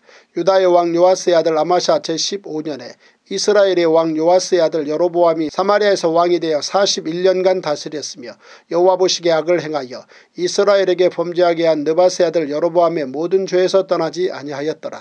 이스라엘의 하나님 여호와께서 그의 종 가드 헤벨 아미떼 아들 선지자 요나를 통하여 하신 말씀과 같이 여로보암이 이스라엘 영토를 회복하되 하맛 어귀에서부터 아라바 바다까지 하였으니 이는 여호와께서 이스라엘의 고난이 심하여 메인자도 없고 노인자도 없고 이스라엘을 도울 자도 없음을 보셨고 여호와께서 또 이스라엘의 이름을 천하에서 없애 하겠다고도 아니하셨으므로 요아스의 아들 여로보암의 손으로 구원하심이었더라. 여로보암의 남은 사적과 모든 행한 일과 싸운 업적과 다메섹을 회복한 일과 이전에 유다에 속하였던 하맛을 이스라엘에 돌린 일은 이스라엘 왕 역대지략에 기록되지 아니하였느냐. 여로보암이 그의 조상 이스라엘 왕들과 함께 자고 그의 아들 스가랴가 대신하여 왕이 되니라. 제175일 열왕기하 15장 이스라엘 왕 여로보암 제27년에 요다왕 아마샤의 아들 아사랴가 왕이 되니 그가 왕이 될 때의 나이가 16세라. 예루살렘에서 52년간 다스리니라. 그의 어머니의 이름은 여골리아라. 예루살렘 사람이더라. 아사랴가 그의 아버지 아마샤의 모든 행위대로 여호와 보시기에 정직히 행하였으나 오직 산당은 제거하지 아니하였으므로 백성이 여전히 그 산당에서 제사를 드리며 분양하였고 여호와께서 왕을 치셨으므로 그가 죽는 날까지 나병 환자가 되어 별궁에 거하고 왕자 요담이 왕궁을 다스리며 그 땅의 백성을 치리하였더라. 아사레의 남은 사적과 행한 모든 일은 유다왕 역대지략에 기록되지 아니하였느냐. 아사랴가 그의 조상들과 함께 자매 다윗성에 그의 조상들과 함께 장사되고 그의 아들 요담이 대신하여 왕이 되니라. 유다의 왕 아사랴의 제38년에 여로보암의 아들 스가랴가 사마리아에서 여섯 달 동안 이스라엘을 다스리며 그의 조상들의 행위대로 여호와 보시기에 악을 행하여 이스라엘로 범죄하게 한 느바스의 아들 여로보암의 죄에서 떠나지 아니한지라. 야베스의 아들 살롬이 그를 반역하여 백성 앞에서 쳐 죽이고 대신하여 왕이 되니라. 스가랴의 남은 사적은 이스라엘 왕 역대지략에 기록되니라. 여호와께서 예후에게 말씀하여 이르시기를 내 자손이 4대 동안 이스라엘 왕위에 있으리라 하신 그 말씀대로 과연 그렇게 되니라. 유다왕 우시아 제39년에 야베스의 아들 살롬이 사마리아에서 왕이 되어 한 달 동안 다스리니라. 가디의 아들 모나임이 디리사에서부터 사마리아로 올라가서 야베스의 아들 살롬을 거기에서 쳐 죽이고 대신하여 왕이 되니라. 살롬의 남은 사적과 그가 반역한 일은 이스라엘 왕 역대지략에 기록되니라. 그때 무나임이 드리사에서 와서 딥사와 그 가운데 있는 모든 사람과 그 사방을 쳤으니 이는 그들이 성문을 열지 아니하였습니다. 그러므로 그들이 그곳을 치고 그 가운데 아이벤 분열을 갈랐더라. 유다왕 아사리아 제39년에 가디의 아들 모나임이 이스라엘 왕이 되어 사마리아에서 10년간 다스리며 여호와 보시기에 악을 행하여 이스라엘로 범죄하게 한 느바스의 아들 여로보암의 죄에서 평생 떠나지 아니하였더라. 아수르 왕 불이 와서 그 땅을 치려함에 무나임이 은 천 달란트를 불에게 주어서 그로 자기를 도와주게 하므로 나라를 자기 손에 굳게 세우고자 하여 그 을을 이스라엘 모든 큰 부자에게서 강탈하여 각 사람에게 은 50세겔씩 내게 하여 아수르 왕에게 주었더니 이 아수르 왕이 되돌아가 그 땅에 머물지 아니하였더라.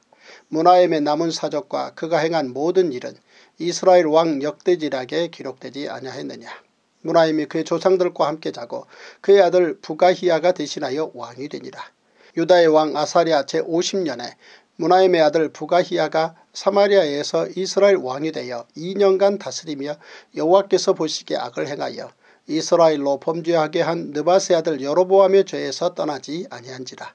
그 장관 르말리아의 아들 베가가 반역하여 사마리아 왕궁 호이소에서 왕과 아르곱과 아리엘을 죽이되 길라 사람 50명과 더불어 죽이고 대신하여 왕이 되었더라.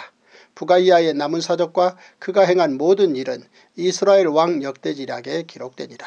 유다의 왕 아사랴 제52년에 르말라의 아들 베가가 이스라엘 왕이 되어 사마리아에서 20년간 다스리며 여호와께서 보시기에 악을 행하여 이스라엘로 범죄하게 한 드바세 아들 여로보암의 죄에서 떠나지 아니하였더라. 이스라엘 왕 베가 때에 아수르 왕 디글랏 빌레셀이 와서 이온과 아벨벤 마가와 야노아와 게데스와 하솔과 길라앗과 갈릴리와 납달리 온 땅을 점령하고 그 백성을 사로잡아 아수르로 옮겼더라. 오시아의 아들 요담 제20년에 엘라의 아들 호세아가 반역하여 르말라의 아들 베가를 쳐서 죽이고 대신하여 왕이 되니라. 베가의 남은 사적과 그가 행한 모든 일은 이스라엘 왕 역대지략에 기록되니라. 이스라엘의 왕 르말리아의 아들 베가 제2년에 유다 왕 유시아의 아들 요담이 왕이 되니 나이가 25세라 예루살렘에서 16년간 다스리니라. 그의 어머니의 이름은 여루사라 사독의 딸이더라. 요담이 그의 아버지 우시아의 모든 행위대로 여호와께서 보시기에 정직히 행하였으나 오직 산당을 제거하지 아니하였으므로 백성이 여전히 그 산당에서 제사를 드리며 분양하였더라. 요담이 여호와의 성전의 윤문을 건축하니라. 요담의 남은 사적과 그가 행한 모든 일은 유다왕 역대지략에 기록되지 아니하였느냐. 그때 여호와께서 비로소 아람왕 루신과 느말리아의 아들 베가를 보내어 유다를 치게 하셨더라. 요담이 그의 조상들과 함께 잠에 그의 조상 다윗성의 조상들과 함께 장사되고 그 아들 아하스가 대신하여 왕이 되니라. 열왕기하 16장 르말레의 아들 베가 제17년에 유다의 왕 요담의 아들 아하스가 왕이 되니 아하스가 왕이 될 때 나이가 20세라. 예루살렘에서 16년간 다스렸으나 그의 조상 다윗과 같지 아니하여 그의 하나님 여호와께서 보시기에 정직히 행하지 아니하고 이스라엘의 여러 왕의 길로 행하며 또 여호와께서 이스라엘 자손 앞에서 쫓아내신 이방 사람의 가증한 일을 따라 자기 아들을 불 가운데로 지나가게 하며 또 산당들과 작은 산 위와 모든 푸른 나무 아래에서 제사를 드리며 분양하였더라. 이때 아람의 왕 르신과 이스라엘의 왕 르말라의 아들 베가가 예루살렘에 올라와서 싸우려 하여 아하스를 애워쌌으나 능히 이기지 못하니라. 당시에 아람의 왕 르신이 엘랏을 회복하여 아람에 돌리고 유다 사람을 엘랏에서 쫓아내었고 아람 사람이 엘랏에 이르러 거기에 거주하여 오늘까지 이르렀더라. 아하스가 아수르 왕 디글랏 빌레셀에게 사자를 보내 이르되 나는 왕의 신복이요 왕의 아들이라 이제 아람 왕과 이스라엘 왕이 나를 치니 청하건대 올라와 그 손에서 나를 구원하소서 하고 아하스가 여호와의 성전과 왕궁 곳간에 있는 은금을 내어다가 아수르 왕에게 예물로 보냈더니 아수르 왕이 그 청을 듣고 곧 올라와서 다메섹을 쳐서 점령하여 그 백성을 사로잡아 기르로 옮기고 또 르신을 죽였더라. 아하스 왕이 아수르의 왕 디글랏 빌레셀을 만나러 다메섹에 갔다가 거기 있는 제단을 보고 아하스 왕이 그 재단의 모든 구조와 제도의 양식을 그려 제사장 우리아에게 보냈더니 아하스 왕이 다메섹에서 돌아오기 전에 제사장 우리아가 아하스 왕이 다메섹에서 보낸 대로 모두 행하여 제사장 우리아가 재단을 만든지라. 왕이 다메섹에서 돌아와 재단을 보고 재단 앞에 나아가 그 위에 제사를 드리되 자기의 번제물과 소제물을 불사르고 또 전제물을 붓고 수은제 짐승의 피를 재단에 뿌리고 또 여호와의 앞 곧 성전 앞에 있던 놋재단을 새 재단과 여호와의 성전 사이에서 옮겨다가 그 재단 북쪽에 그것을 두니라. 아스 왕이 제사장 우리아에게 명령하여 이르되 아침 번제물과 저녁 소제물과 왕의 번제물과 그 소제물과 모든 국민의 번제물과 그 소제물과 전제물을 다 이 큰 재단 위에 불사르고 또 번제물의 피와 다른 제물의 피를 다 그 위에 뿌리라. 오직 놋제단은 내가 주께 여쭐 일에만 쓰게 하라 하매 제사장 우리아가 아하스 왕의 모든 명령대로 행하였더라. 아하스 왕이 물두멍 받침의 옆판을 떼내고 물두멍을 그 자리에서 옮기고 또 놋바다를 놋소 위에서 내려다가 돌판 위에 그것을 두며 또 안식일에 쓰기 위하여 성전에 건축한 낭실과 왕이 밖에서 들어가는 낭실을 아수르 왕을 두려워하여 여호와의 성전에 옮겨 세웠더라. 아스가 행한 그 남은 사적은 유다왕 역대지략에 기록되지 아니하였느냐. 아스가 그의 조상들과 함께 잠에 다윗성의 그 열조와 함께 장사되고 그의 아들 히스기야가 대신하여 왕이 되니라. 제176일 열왕기하 17장 유다의 왕 아하스 제12년에 엘라의 아들 호세아가 사마리아에서 이스라엘 왕이 되어 9년간 다스리며 여호와께서 보시기에 악을 행하였으나 다만 그전 이스라엘 여러 왕들과 같이 하지는 아니하였더라. 아수르의 왕 살만 에셀이 올라오니 호세아가 그에게 종유되어 조공을 드리더니 그가 애굽의 왕 소에게 사자들을 보내고 해마다 하던 대로 아수르 왕에게 조공을 드리지 아니하매 아수르 왕이 호세아가 배반함을 보고 그를 옥에 감금하여 두고 아수르 왕이 올라와 그 온 땅에 두루 다니고 사마리아로 올라와 그곳을 3년간 애워쌌더라. 호세아 제9년에 아수르 왕이 사마리아를 점령하고 이스라엘 사람을 사로잡아 아수르로 끌어다가 고상 강가에 있는 할라와 하볼과 메데 사람의 여러 고을에 두었더라. 이 일은 이스라엘 자손이 자기를 애굽 땅에서 인도하여 내사 애굽의 왕 바로의 손에서 벗어나게 하신 그 하나님 여호와께 죄를 범하고 또 다른 신들을 경외하며 여호와께서 이스라엘 자손 앞에서 쫓아내신 이방 사람의 규례와 이스라엘 여러 왕이 세운 율례를 행하였습니다. 이스라엘의 자손이 점차로 불의를 행하여 그 하나님 여호와를 배역하여 모든 성읍의 망대로부터 견고한 성에 이르도록 산당을 세우고 모든 산 위에와 모든 푸른 나무 아래에 목상과 아세라상을 세우고 또 여호와께서 그들 앞에서 물리치신 이방 사람같이 그곳 모든 산당에서 분양하며 또 악을 행하여 여호와를 경노하게 하였으며 또 우상을 섬겼으니 이는 여호와께서 그들에게 행하지 말라고 말씀하신 일이라.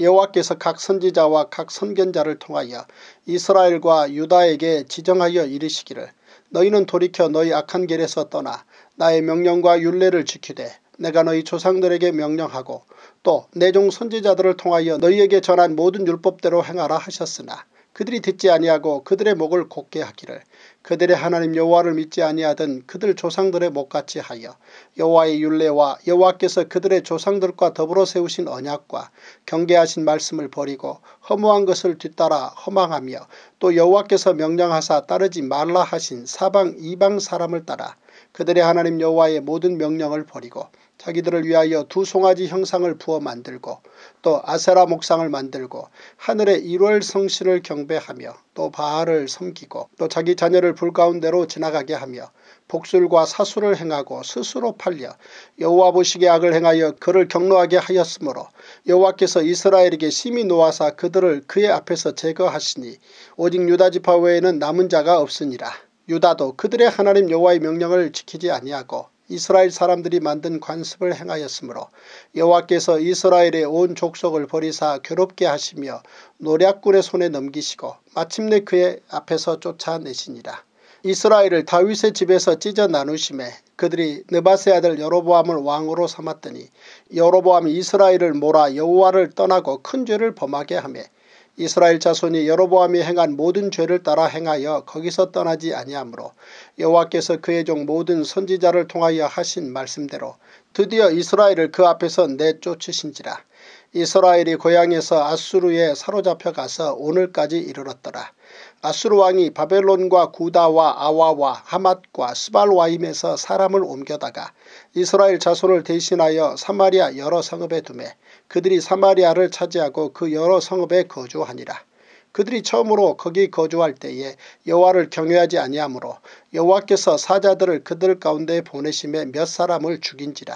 그러므로 어떤 사람이 아수르 왕에게 말하여 이르되 왕께서 사마리아 여러 성읍에 옮겨 거주하게 하신 민족들이 그 땅 신의 법을 알지 못하므로 그들의 신이 사자들을 그들 가운데 보내매 그들을 죽였사오니 이는 그들이 그 땅 신의 법을 알지 못함이니이다 하니라. 아수르 왕이 명령하여 이르되 너희는 그곳에서 사로잡아 온 제사장 한 사람을 그곳으로 데려가되 그가 그곳에 가서 거주하며 그 땅 신의 법을 무리에게 가르치게 하라 하니 이에 사마리아에서 사로잡혀간 제사장 중 한 사람이 와서 베델에 살며 백성에게 어떻게 여호와 경외할지를 가르쳤더라. 그러나 각 민족이 각기 자기의 신상들을 만들어 사마리아 사람이 지은 여러 산당들에 두되 각 민족이 자기들이 거주한 성읍에서 그렇게 하여 바벨론 사람들은 숫꽃 분옷을 만들었고 굿 사람들은 네르갈을 만들었고 하맛 사람들은 아시마를 만들었고 아와 사람들은 닙하스와 다르닥을 만들었고 스발와임 사람들은 그 자녀를 불살라 그들의 신 아드람 멜렉과 아남 멜렉에게 드렸으며 그들이 또 여호와를 경외하여 자기 중에서 사람을 산당의 제사장으로 택하여 그 산당들에서 자기를 위하여 제사를 드리게 하니라. 이와 같이 그들이 여호와도 경외하고 또한 어디서부터 옮겨왔든지 그 민족의 풍속대로 자기의 신들도 섬겼더라.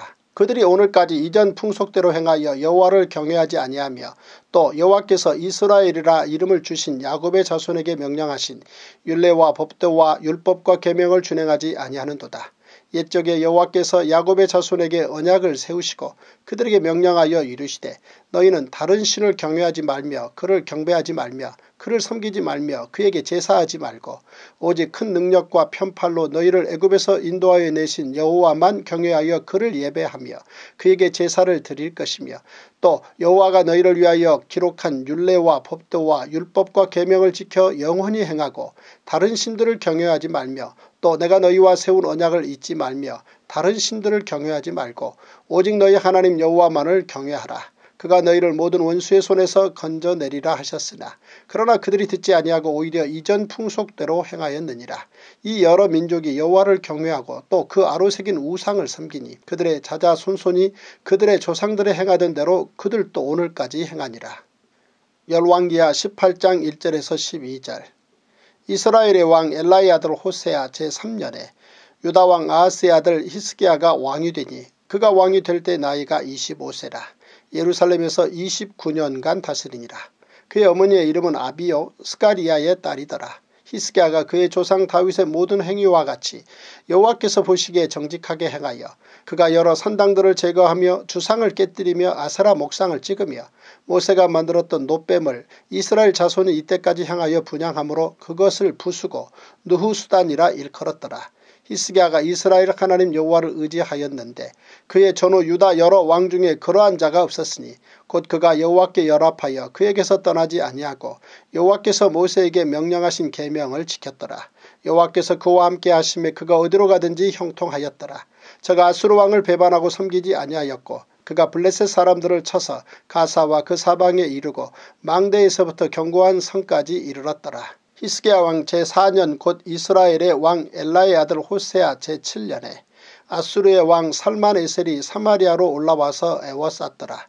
3년 후에 그 성읍이 함락되니 곧 히스기야 왕의 제6년이요 이스라엘 왕 호세아의 제9년에 사마리아가 함락되매 아수르 왕이 이스라엘을 사로잡아 아수르에 이르러 고상 강가에 있는 할라와 하볼과 메대 사람의 여러 성읍에 두었으니 이는 그들이 하나님 여호와의 말씀을 듣지 아니하고 그의 언약과 여호와의 종 모세가 명령한 모든 것을 따르지 아니하였음이더라. 제 185일 열왕기하 18장 13절에서 37절 히스기야 왕 제14년에 아수르의 왕 사네립이 올라와서 유다 모든 견고한 성읍들을 쳐서 점령하며 유다의 왕 히스기야가 라기스로 사람을 보내어 아수르 왕에게 이르되 내가 범죄하였나이다. 나를 떠나 돌아가소서.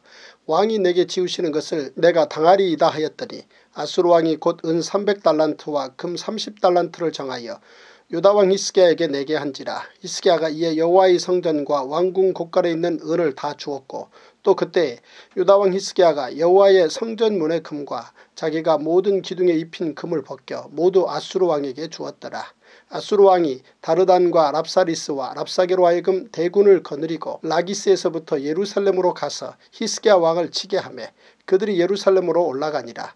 그들이 올라가서 윗못 수도곁 곧 세탁자의 밭에 있는 큰 길에 이르러 서니라. 그들이 왕을 부르매 힐기야의 아들로서 왕궁의 책임자인 엘리야김과 서기관 셈나와 아삽의 아들 사관 요아가 그에게 나가니 랍사게가 그들에게 이르되 너희는 히스기야에게 말하라.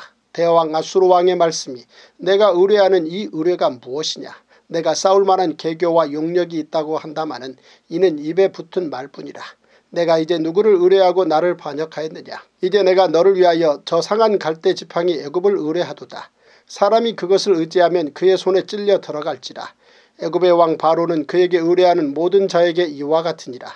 너희가 내게 이르기를 우리는 우리 하나님 여호와를 의뢰하노라 하리라 마는 히스기야가 그들의 산당들과 제단을 제거하고 유다와 예루살렘 사람에게 명령하기를 예루살렘 이 제단 앞에서만 예배하라 하지 아니하였느냐 하셨나니 청하건대 이제 너는 내 주 아수르 왕과 내기하라.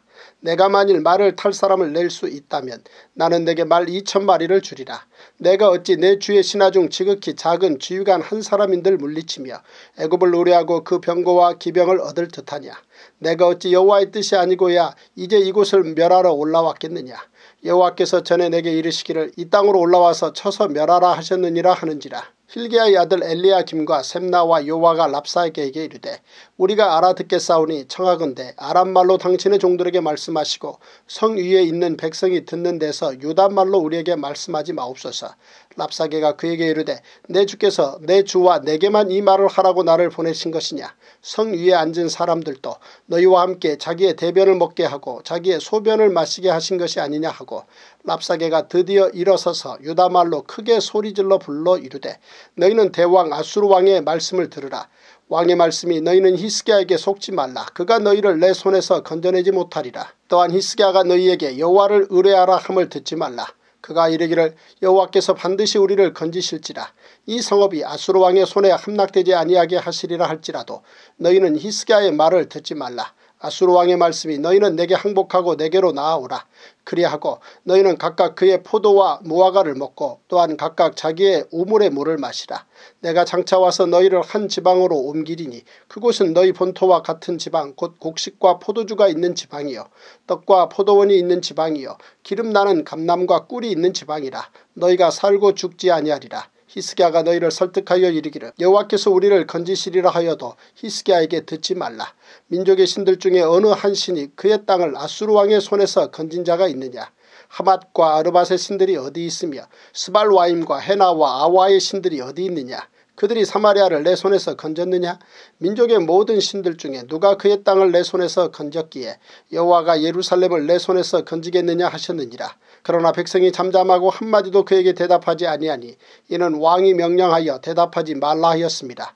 이에 힐기야의 아들로서 왕국 내의 책임자인 엘리야김과 서기관 샘나와 아삽의 아들 사관 요아가 옷을 찢고 히스기야에게 나아가서 랍사게의 말을 전하니라. 제186일 열왕기하 19장 히스기야 왕이 듣고 그 옷을 찢고 굵은 배를 두르고 여호와의 전에 들어가서 왕궁의 책임자인 엘리야김과 서기관 샘나와 제사장 중 장로들에게 굵은 배를 둘려서 아모스의 아들 선지자 이사야에게로 보내매 그들의 이사야에게 이르되 히스기야의 말씀이 오늘은 환란과 징벌과 모욕의 날이라. 아이를 낳을 때가 되었으나 해산할 힘이 없도다. 랍사게가 그의 주 아수르 왕의 보냄을 받고 와서 살아계신 하나님을 비방하였으니 당신의 하나님 여호와께서 혹시 그의 말을 들으셨을지라. 당신의 하나님 여호와께서 그 들으신 말 때문에 꾸짖으실 듯하니 당신은 이 남아있는 자들을 위하여 기도하소서 하더이다 하니라. 이와 같이 히스기야 왕의 신복이 이사야에게 나아가니 이사야가 그들에게 이르되 너희는 너희 주에게 이렇게 말하라. 여호와의 말씀이 너는 아수르 왕의 신복에게 들은 바 나를 모욕하는 말 때문에 두려워하지 말라. 내가 한 영을 그의 속에 두어 그로 소문을 듣고 그의 본국으로 돌아가게 하고 또 그의 본국에서 그에게 칼에 죽게 하리라 하셨느니라 하더라. 랍사게가 돌아가다가 아수르 왕이 이미 라기스에서 떠났다 함을 듣고 림나로 가서 아수르 왕을 만났으니 왕이 거기서 림나와 싸우는 중이더라. 아수르 왕은 구스 왕 디르하가가 당신과 싸우고자 나왔다 함을 듣고 다시 히스기야에게 사자를 보내며 이르되 너희는 유다의 왕 히스기야에게 이같이 말하여 이르기를 내가 믿는 내 하나님이 예루살렘을 아수르 왕의 손에 넘기지 아니하겠다 하는 말에 속지 말라. 아수르의 여러 왕이 여러 나라에 행한 바 진멸한 일을 내가 들었나니 내가 어찌 구원을 얻겠느냐. 내 조상들이 멸하신 여러 민족 곧 고산과 하란과 레셉과 들라살에 있는 에덴 족속을 그 나라들의 신들이 건졌느냐. 하맛 왕과 아르밧 왕과 스발와임 성의 왕과 헤나와 아와의 왕들이 다 어디 있느냐 하라 하니라. 히스기야가 사자의 손에서 편지를 받아보고 여호와의 성전에 올라가서 히스기야가 그 편지를 여호와 앞에 펴놓고 그 앞에서 히스기야가 기도하여 이르되 그룹들 위에 계신 이스라엘의 하나님 여호와여 주는 천하 만국의 홀로 하나님이시라. 주께서 천지를 만드셨나이다. 여호와여 귀를 기울여 들으소서 여호와여 눈을 떠서 보시옵소서 사내립이 살아계신 하나님을 비방하러 보낸 말을 들으시옵소서 여호와여 아수르 여러 왕이 과연 여러 민족과 그들의 땅을 황폐하게 하고 또 그들의 신들을 불에 던져 싸우니 이는 그들이 신이 아니요 사람의 손으로 만든 것 곧 나무와 돌뿐이므로 멸하였나이다. 우리 하나님 여호와여 원하건대 이제 우리를 그의 손에서 구원하옵소서 그리하시면 천하 만국이 주 여호와가 홀로 하나님이신 줄 알리이다 하니라. 아모스의 아들 이사야가 히스기야에게 보내 이르되 이스라엘 하나님 여호와의 말씀이 내가 아수르 왕 사느립 때문에 내게 기도하는 것을 내가 들었노라 하셨나이다. 여호와께서 아수르 왕에게 대하여 이같이 말씀하시기를 처녀딸 시온이 너를 멸시하며 너를 비웃었으며 딸 예루살렘이 너를 향하여 머리를 흔들었느니라. 내가 누구를 꾸짖었으며 비방하였느냐. 누구를 향하여 소리를 높였으며 눈을 높이 떴느냐. 이스라엘의 거룩한 자에게 그리하였도다.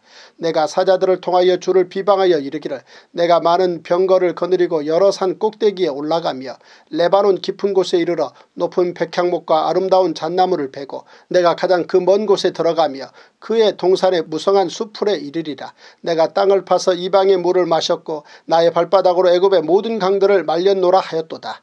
내가 듣지 못하였느냐 이 일은 내가 태초부터 행하였고 옛날부터 정한 바라 이제 내가 이루어 너로 견고한 성들을 멸하여 무너진 돌무더기가 되게 함이니라. 그러므로 거기에 거주하는 백성의 힘이 약하여 두려워하며 놀랐나니 그들은 들의 채소와 푸른 풀과 지붕의 잡초와 자라기 전에 시든 곡초같이 되었느니라. 내 거처와 내 출입과 내가 내게 향한 분노를 내가 다 아노니 내가 내게 향한 분노와 내 교만한 말이 내 귀에 들렸도다. 그러므로 내가 갈고리를 내 코에 꿰고 재갈을 내 입에 물려 너를 오던 길로 끌어 돌이키리라 하셨나이다. 또 내게 보일 징조가 이러하니 너희가 금년에는 스스로 자라난 것을 먹고 내년에는 그것에서 난 것을 먹되 제3년에는 심고 거두며 포도원을 심고 그 열매를 먹으리라.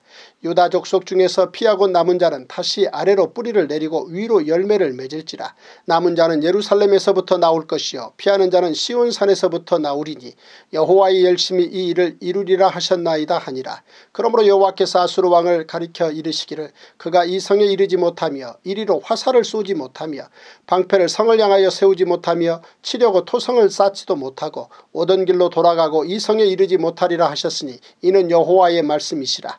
내가 나와 나의 종 다윗을 위하여 이 성을 보호하여 구원하리라 하셨나이다 하였더라. 이 밤에 여호와의 사자가 나와서 아수르 진영에서 군사 18만 5천 명을 친지라. 아침에 일찍이 일어나 보니 다 송장이 되었더라. 아수르 왕 사느립이 떠나 돌아가서 니누에에 거주하더니 그가 그의 신 리스록의 신전에서 경배할 때에 아드람 멜렉과 사레셀이 그를 칼로 쳐 죽이고 아라라 땅으로 그들이 도망하며 그 아들 에살 합돈이 대신하여 왕이 되니라. 제187일 열왕기하 20장 그때에 히스기야가 병들어 죽게 되매 아모스의 아들 선지자 이사야가 그에게 나와서 그에게 이르되 여호와의 말씀이 너는 집을 정리하라 내가 죽고 살지 못하리라 하셨나이다. 히스기야가 낯을 벽으로 향하고 여호와께 기도하여 이르되 여호와여 구하오니 내가 진실과 전심으로 주 앞에 행하며 주께서 보시기에 선하게 행한 것을 기억하옵소서 하고 히스기야가 심히 통곡하더라. 이사야가 성읍 가운데까지도 이르기 전에 여호와의 말씀이 그에게 임하여 이르시되 너는 돌아가서 내 백성의 주권자 히스기야에게 이르기를 왕의 조상 다윗의 하나님 여호와의 말씀이 내가 내 기도를 들었고 내 눈물을 보았노라. 내가 너를 낫게 하리니 내가 3일 만에 여호와의 성전에 올라가겠고 내가 내 날에 15년을 더할 것이며 내가 너와 이 성을 아수르 왕의 손에서 구원하고 내가 나를 위하고 또 내 종 다윗을 위함으로 이 성을 보호하리라 하셨다 하라 하셨더라. 이사야가 이르되 무화과 반죽을 가져오라 하매 무리가 가져다가 그 상처에 놓으니 나으니라. 히스기야가 이사야에게 이르되 여호와께서 나를 낫게 하시고 3일 만에 여호와의 성전에 올라가게 하실 무슨 징표가 있나이까 하니 이사야가 이르되 여호와께서 하신 말씀을 응하게 하실 일에 대하여 여호와께로부터 왕에게 한 징표가 이 말이이다.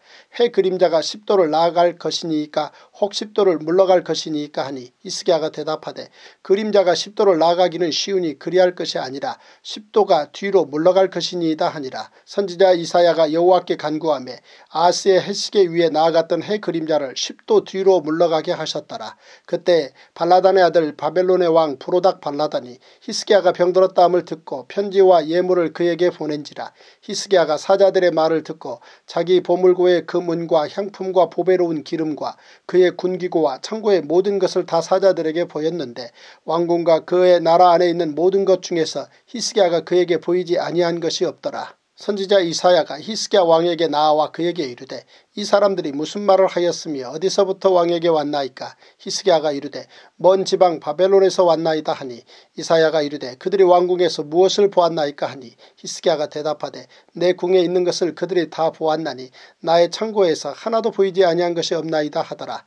이사야가 히스기야에게 이르되 여호와의 말씀을 들으소서. 여호와의 말씀이 날이 이르리니 왕궁의 모든 것과 왕의 조상들이 오늘까지 쌓아두었던 것이 바벨론으로 옮김바되고 하나도 남지 아니할 것이 것이요 또 왕의 몸에서 난 아들 중에서 사로잡혀 바벨론 왕궁의 황관이 되리라 하셨나이다 하니 히스기야가 이사야에게 이르되 당신이 전한 바 여호와의 말씀이 선하니이다 하고 또 이르되 만일 내가 사는 날에 태평과 진실이 있을진데 어찌 선하지 아니하리요 하니라.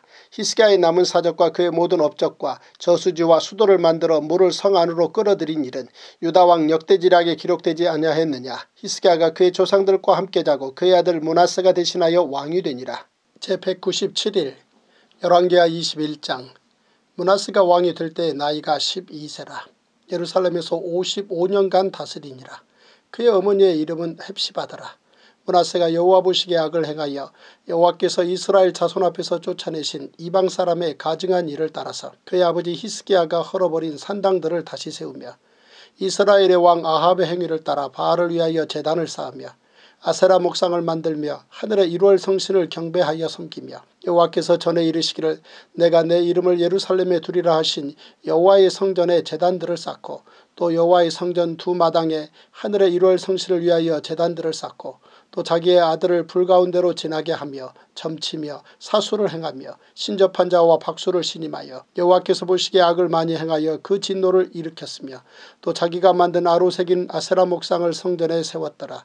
옛적에 여호와께서 이 성전에 대하여 다윗과 그의 아들 솔로몬에게 이르시기를 내가 이스라엘의 모든 지파 중에서 택한 이 성전과 예루살렘에 내 이름을 영원히 둘지라. 만일 이스라엘이 나의 모든 명령과 나의 종 모세가 명령한 모든 율법을 지켜 행하면 내가 그들의 발로 다시는 그의 조상들에게 준 땅에서 떠나 유리하지 아니하게 하리라 하셨으나 이 백성이 듣지 아니하였고 문하세의 꿰물 받고 악을 행한 것이 여호와께서 이스라엘 자손 앞에서 멸하신 여러 민족보다 더 심하였더라. 여호와께서 그의 종 모든 선지자들을 통하여 말씀하여 이르시되 유다 왕 문하세가 이 가증한 일과 악을 행함이 그전에 있던 아모리 사람들의 행위보다 더욱 심하였고 또 그들의 우상으로 유다를 범죄하게 하였도다. 그러므로 이스라엘의 하나님 여호와가 말하노니 내가 이제 예루살렘과 유다의 재앙을 내리지니 듣는 자마다 두 귀가 울리리라. 내가 사마리아를 젠 줄과 아합의 집을 달인 보던 줄을 예루살렘에 베풀고 또 사람이 그릇을 씻어 품같이 예루살렘을 씻어버릴지라. 내가 나의 기업에서 남은 자들을 버려 그들의 원수의 손에 넘긴 즉 그들의 모든 원수에게 노략거리와 겁탈거리가 되리니 이는 애굽에서 나온 그의 조상 때부터 오늘까지 내가 보기에 악을 행하여 나의 진노를 일으켰음이니라 하셨더라. 문하세가 유다에게 범죄하게 하여 여호와께서 보시기에 악을 행한 것 외에도 또 무지한 자의 피를 심히 많이 흘려 예루살렘 이 끝에서 저 끝까지 가득하게 하였더라.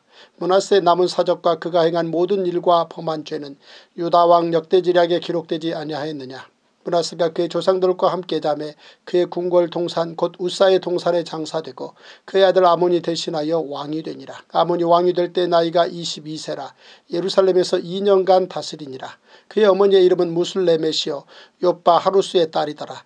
아모니 그의 아버지 문하세의 행함같이 여호와 보시기에 악을 행하되 그의 아버지가 행한 모든 길로 행하여 그의 아버지가 섬기던 우상을 섬겨 그것들에게 경배하고 그의 조상들의 하나님 여호와를 버리고 그 길로 행하지 아니하더니 그의 신복들이 그에게 반역하여 왕을 궁중에서 죽임에 그 국민이 아몬 왕을 반역한 사람들을 다 죽이고 그의 아들 요시아를 대신하게 하여 왕을 삼았더라. 아몬이 행한 바 남은 사적은 유다 왕 역대지략에 기록되지 아니하였느냐. 아모니 우사의 동산 자기 묘실에 장사되고 그의 아들 요시아가 대신하여 왕이 되니라. 열왕기하 22장 요시아가 왕위에 오를 때 나이가 8세라 예루살렘에서 31년간 다스리니라. 그의 어머니의 이름은 여디다요 보스갓 아다야의 딸이더라. 요시아가 여호와 보시기에 정직히 행하여 그의 조상 다윗의 모든 길로 행하고 좌우로 치우치지 아니하였더라. 요시아 왕 18째 해에 왕이 무술람의 손자 아살리아의 아들 서기관 사반을 여호와의 성전에 보내며 이르되 너는 대제사장 힐기야에게 올라가서 백성이 여호와의 성전에 드리는 곧 문지킨 자가 수납한 은을 계산하여 여호와의 성전을 맡은 감독자의 손에 넘겨 그들의 여호와의 성전에 있는 작업자에게 주어 성전에 부서진 것을 수리하게 하되 곧 목수와 건축자와 미장이에게 주게 하고 또 제목과 다듬은 돌을 사서 그 성전을 수리하게 하라. 그러나 그들의 손에 맡긴 은을 회개하지 말지니 이는 그들이 진실하게 행함이니라. 대제사장 힐기야가 서기관 사반에게 이르되 내가 여호와의 성전에서 율법책을 발견하였노라 하고 힐기야가 그 책을 사반에게 주니 사반이 읽으니라. 서기관 사반이 왕에게 돌아가서 보고하여 이르되 왕의 신복들이 성전에서 찾아낸 돈을 쏟아 여호와의 성전을 맡은 감독자의 손에 맡겼나이다 하고 또 서기관 사반이 왕에게 말하여 이르되 제사장 힐기야가 내게 책을 주더이다 하고 사반이 왕의 앞에서 읽음에 왕이 율법책의 말을 듣자 곧 그의 옷을 찢으니라. 왕이 제사장 힐기야와 사발의 아들 아히감과 미가야의 아들 악볼과 서기관 사반과 왕의 시종 아사야에게 명령하여 이르되 너희는 가서 나와 백성과 온 유다를 위하여 이 발견한 책의 말씀에 대하여 여호와께 물으라. 우리 조상들이 이 책의 말씀을 듣지 아니하며 이 책에 우리를 위하여 기록된 모든 것을 행하지 아니하였으므로 여호와께서 우리에게 내리신 진노가 크도다. 이에 제사장 힐기야와 또 아이감과 악볼과 사반과 아사야가 여선지 훌다에게로 나아가니 그는 할라스의 손자 디과의 아들로서 예복을 주관하는 살룸의 아내라 예루살렘 둘째 구역에 거주하였더라. 그들이 그와 더불어 말하며 훌다가 그들에게 이르되 이스라엘 하나님 여호와의 말씀이 너희는 너희를 내게 보낸 사람에게 말하기를 여호와의 말씀이 내가 이곳과 그 주민에게 재앙을 내리되 곧 유다 왕이 읽은 책의 모든 말대로 하리니 이는 이 백성이 나를 버리고 다른 신에게 분양하며 그들의 손의 모든 행위로 나를 경노하게 하였습니다. 그러므로 내가 이곳을 향하여 내린 진노가 꺼지지 아니하리라 하라 하셨느니라. 너희를 보내 여호와께 묻게 한 유다 왕에게는 너희가 이렇게 말하라. 이스라엘의 하나님 여호와가 이같이 말씀하셨느니라. 내가 들은 말들에 대하여는 내가 이곳과 그 주민에게 대하여 빈터가 되고 저주가 되리라 한 말을 내가 듣고 마음이 부드러워져서 여호와 앞 곧 내 앞에서 겸비하여 옷을 찢고 통곡하였으므로 나도 내 말을 들었노라.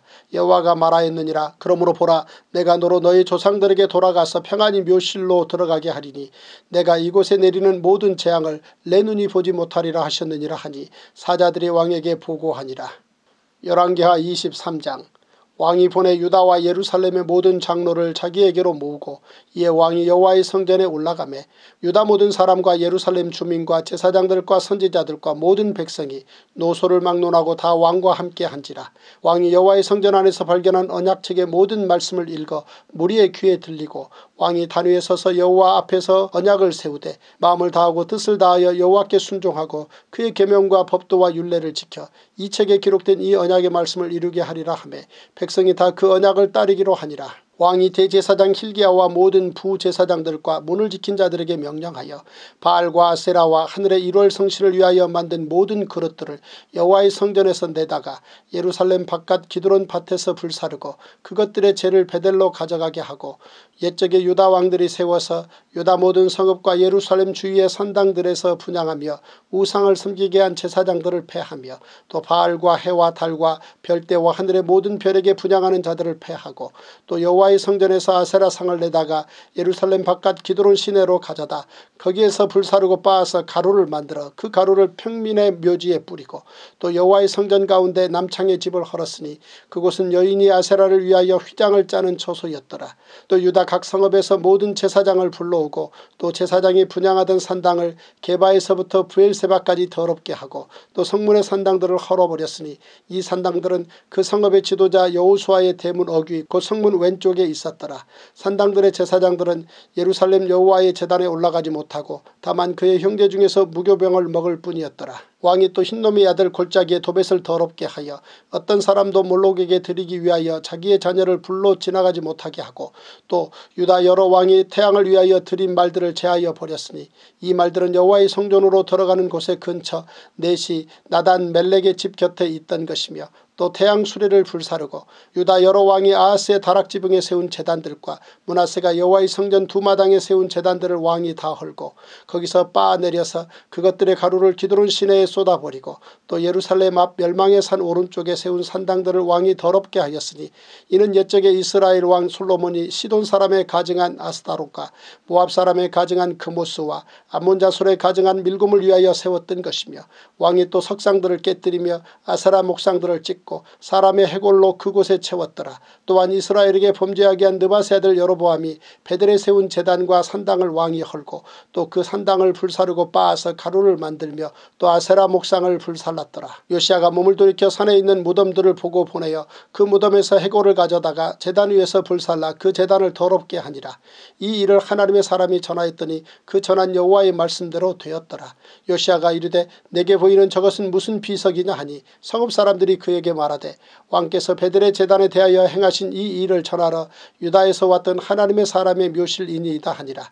이르되 그대로 두고 그의 뼈를 옮기지 말라 하며 우리가 그의 뼈와 사마리아에서 온 선지자의 뼈는 그대로 두었더라.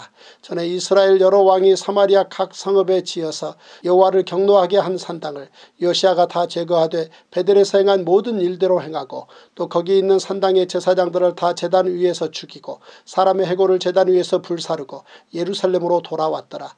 왕 이뭇 백성에게 명령하여 이르되 이 언약책에 기록된 대로 너희의 하나님 여호와를 위하여 유월절을 지키라 하며 사사가 이스라엘을 다스리던 시대부터 이스라엘 여러 왕의 시대와 유다 여러 왕의 시대에 이렇게 유월절을 지킨 일이 없었더니 요시아 왕 18째 해에 예루살렘에서 여호와 앞에 이 유월절을 지켰더라. 요시아가 또 유다 땅과 예루살렘에 보이는 신접한 자와 점쟁이와 드라빔과 우상과 모든 가증한 것을 다 제거하였으니 이는 대제사장 힐기야가 여호와의 성전에서 발견한 책에 기록된 율법의 말씀을 이루려 함이라. 요시아와 같이 마음을 다하며 뜻을 다하며 힘을 다하여 모세의 모든 율법을 따라 여호와께로 돌이킨 왕은 요시아 전에도 없었고 후에도 그와 같은 자가 없었더라. 그러나 여호와께서 유다를 향하여 내리신 그 크게 타오르는 진노를 돌이키지 아니하셨으니 이는 문하세가 여호와를 경노하게 한 그 모든 경노 때문이라. 여호와께서 이르시되 내가 이스라엘을 물리친 것 같이 유다도 내 앞에서 물리치며 내가 택한 이성 예루살렘과 내 이름을 거기에 두리라 한 이 성전을 버리리라 하셨더라. 요시아의 남은 사적과 행한 모든 일은 유다왕 역대지략에 기록되지 아니하였느냐. 요시아 당시에 애굽의 왕 바로느고가 아수르 왕을 치고자 하여 유브라데 강으로 올라가므로 요시아 왕이 맞서 나갔더니 애굽 왕이 요시아를 무기또에서 만났을 때에 죽인지라 신복들이 그의 시체를 병거에 싣고 무기또에서 예루살렘으로 돌아와 그의 무덤에 장사하니 백성들이 요시아의 아들 여호아하스를 데려다가 그에게 기름을 붓고 그의 아버지를 대신하여 왕으로 삼았더라. 여호아하스가 왕이 될 때 나이가 23세라 예루살렘에서 석 달간 다스리니라. 그의 어머니의 이름은 하무달이라 림나 예레미야의 딸이더라. 여호아하스가 그의 조상들의 모든 행위대로 여호와 보시기에 악을 행하였더니 바로 누고가 그를 하마 땅 리블라에 가두어 예루살렘에서 왕이 되지 못하게 하고 또 그 나라로 은 백달란트와 금 한 달란트를 벌금으로 내게 하고 바로 누고가 요시아의 아들 엘리야김을 그의 아버지 요시아를 대신하여 왕으로 삼고 그의 이름을 고쳐 여호야김이라 하고 여호 아하스는 애굽으로 잡아갔더니 그가 거기서 죽으니라 여호야김이 은과 금을 바로에게 주니라 그가 바로 누고의 명령대로 그에게 그 돈을 주기 위하여 나라에 부과하되 백성들 각 사람의 힘대로 액수를 정하고 은금을 징수하였더라. 여호야김이 왕이 될때 나이가 25세라 예루살렘에서 11년간 다스리니라. 그의 어머니의 이름은 스비다라 루마 부다야의 딸이더라. 여호야김이 그의 조상들이 행한 모든 일을 따라서 여호와 보시기에 악을 행하였더라. 제202일 열왕기야 24장 여호야김 시대에 바벨론의 왕 느부갓네살이 올라오매 여호야김이 3년간 섬기다가 돌아서 그를 배반하였더니 여호와께서 그의 종 선지자들을 통하여 하신 말씀과 같이 갈대아의 부대와 아람의 부대와 모압의 부대와 암몬자손의 부대를 여호야김에게로 보내 유다를 쳐 멸하려 하시니 이 일이 유다의 임함은 곧 여호와의 말씀대로 그들을 자기 앞에서 물리치고자 하심이니 이는 문하세에 지은 모든 죄 때문이며 또 그가 무대한 자의 피를 흘려 그의 피가 예루살렘에 가득하게 하였습니다. 여호와께서 사하시기를 즐겨하지 아니하시니라. 여호야김의 남은 사적과 행한 모든 일은 유다왕 역대지략에 기록되지 아니하였느냐. 여호야김이 그의 조상들과 함께 잠에 그의 아들 여호야긴이 대신하여 왕이 되니라. 애굽 왕이 다시는 그 나라에서 나오지 못하였으니 이는 바벨론 왕이 애굽 강에서부터 유브라데 강까지 애굽 왕에게 속한 땅을 다 점령하였습니다라. 여호야긴이 왕이 될 때 나이가 18세라 예루살렘에서 석 달간 다스리니라. 그의 어머니의 이름은 느후수다요 예루살렘 엘라단의 딸이더라. 여호야긴이 그의 아버지의 모든 행위를 따라서 여호와께서 보시기에 악을 행하였더라. 그때 바벨론의 왕 느부갓네살의 신복들이 예루살렘에 올라와서 그 성을 애워싸니라. 그의 신복들이 애워쌀 때에 바벨론의 왕 느부갓네살도 그 성에 이르니 유다의 왕 여호야긴이 그의 어머니와 신복과 지도자들과 내시들과 함께 바벨론 왕에게 나아가매 왕이 잡으니 때는 바벨론의 왕 여덟째 해이라. 그가 여호와의 성전의 모든 보물과 왕궁 보물을 집어내고 또 이스라엘의 왕 솔로몬이 만든 것 곧 여호와의 성전의 금그릇을 다 파괴하였으니 여호와의 말씀과 같이 되었더라. 그가 또 예루살렘의 모든 백성과 모든 지도자와 모든 용사 만 명과 모든 장인과 대장장이를 사로잡아가매 비천한 자 외에는 그 땅에 남은 자가 없었더라. 그가 여호야긴을 바벨론으로 사로잡아 가고 왕의 어머니와 왕의 아내들과 내시들과 나라의 권세 있는 자도 예루살렘에서 바벨론으로 사로잡아 가고 또 용사 7천명과 장인과 대장장이 1천명 곧 용감하여 싸움을 할 만한 모든 자들을 바벨론 왕이 바벨론으로 사로잡아 가고 바벨론 왕이 또 여호야긴의 숙부 마따니아를 대신하여 왕으로 삼고 그의 이름을 고쳐 시드기야라 하였더라. 시드기야가 왕이 될 때 나이가 21세라 예루살렘에서 11년간 다스리니라. 그의 어머니의 이름은 하무다리요 림나인 예레미야의 딸이더라. 그가 여호야김의 모든 행위를 따라 여호와 보시기에 악을 행한지라 여호와께서 예루살렘과 유다를 진노하심이 그들을 그 앞에서 쫓아내실 때까지 이르렀더라. 시드기야가 바벨론 왕을 배반하니라.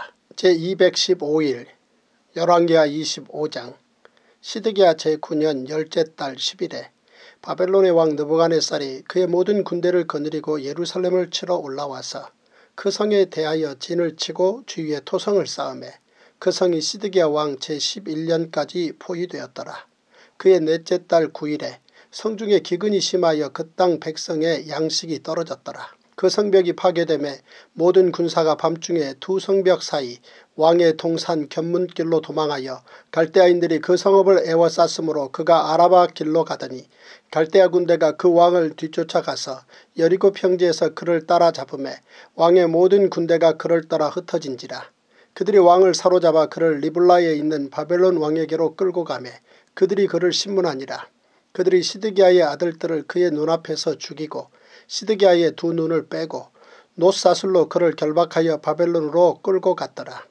바벨론 왕 느부갓네살의 19째 해 5월 7일에 바벨론 왕의 신복 수위대장 느부사라단이 예루살렘에 이르러 여호와의 성전과 왕궁을 불사르고 예루살렘의 모든 집을 귀인의 집까지 불살랐으며 시위대장에게 속한 갈대아 온 군대가 예루살렘 주위의 성벽을 헐었으며 성중에 남아있는 백성과 바벨론 왕에게 항복한 자들과 무리 중 남은 자는 시위대장 느부사라단이 모두 사로잡아가고 시위대장이 그 땅에 비천한 자를 남겨두어 포도원을 다스리는 자와 농부가 되게 하였더라. 갈대아 사람이 또 여호와의 성전에 두 녹기둥과 받침들과 여호와의 성전의 놋바다를 깨뜨려 그 놋을 바벨론으로 가져가고 또 가마들과 부삽들과 부집개들과 숟가락들과 섬길 때에 쓰는 모든 녹그릇을 다 가져갔으며 시위대장이 또 불 옮기는 그릇들과 주발들 곧 금으로 만든 것이나 은으로 만든 것이나 모두 가져갔으며 또 솔로몬이 여호와의 성전을 위하여 만든 두 기둥과 한 바다와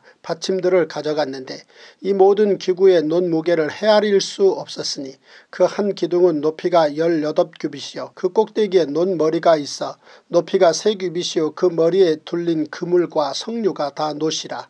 다른 기둥의 장식과 그물도 이와 같았더라. 시위대장이 대제사장 스라야와 부제사장 스바냐와 성전 문지기 세 사람을 사로잡고 또 성중에서 사람을 사로잡았으니 곧 군사를 거느린 네시의 한 사람과 또 성중에서 만난 바 왕의 시종 다섯 사람과 백성을 징집하는 장관의 서기관 한 사람과 성중에서 만난 바 백성 60명이라. 시위대장 느부사라단이 그들을 사로잡아 가지고 리블라 바벨론 왕에게 나아가매 바벨론 왕이 하마 땅 리블라에서 다 쳐 죽였더라.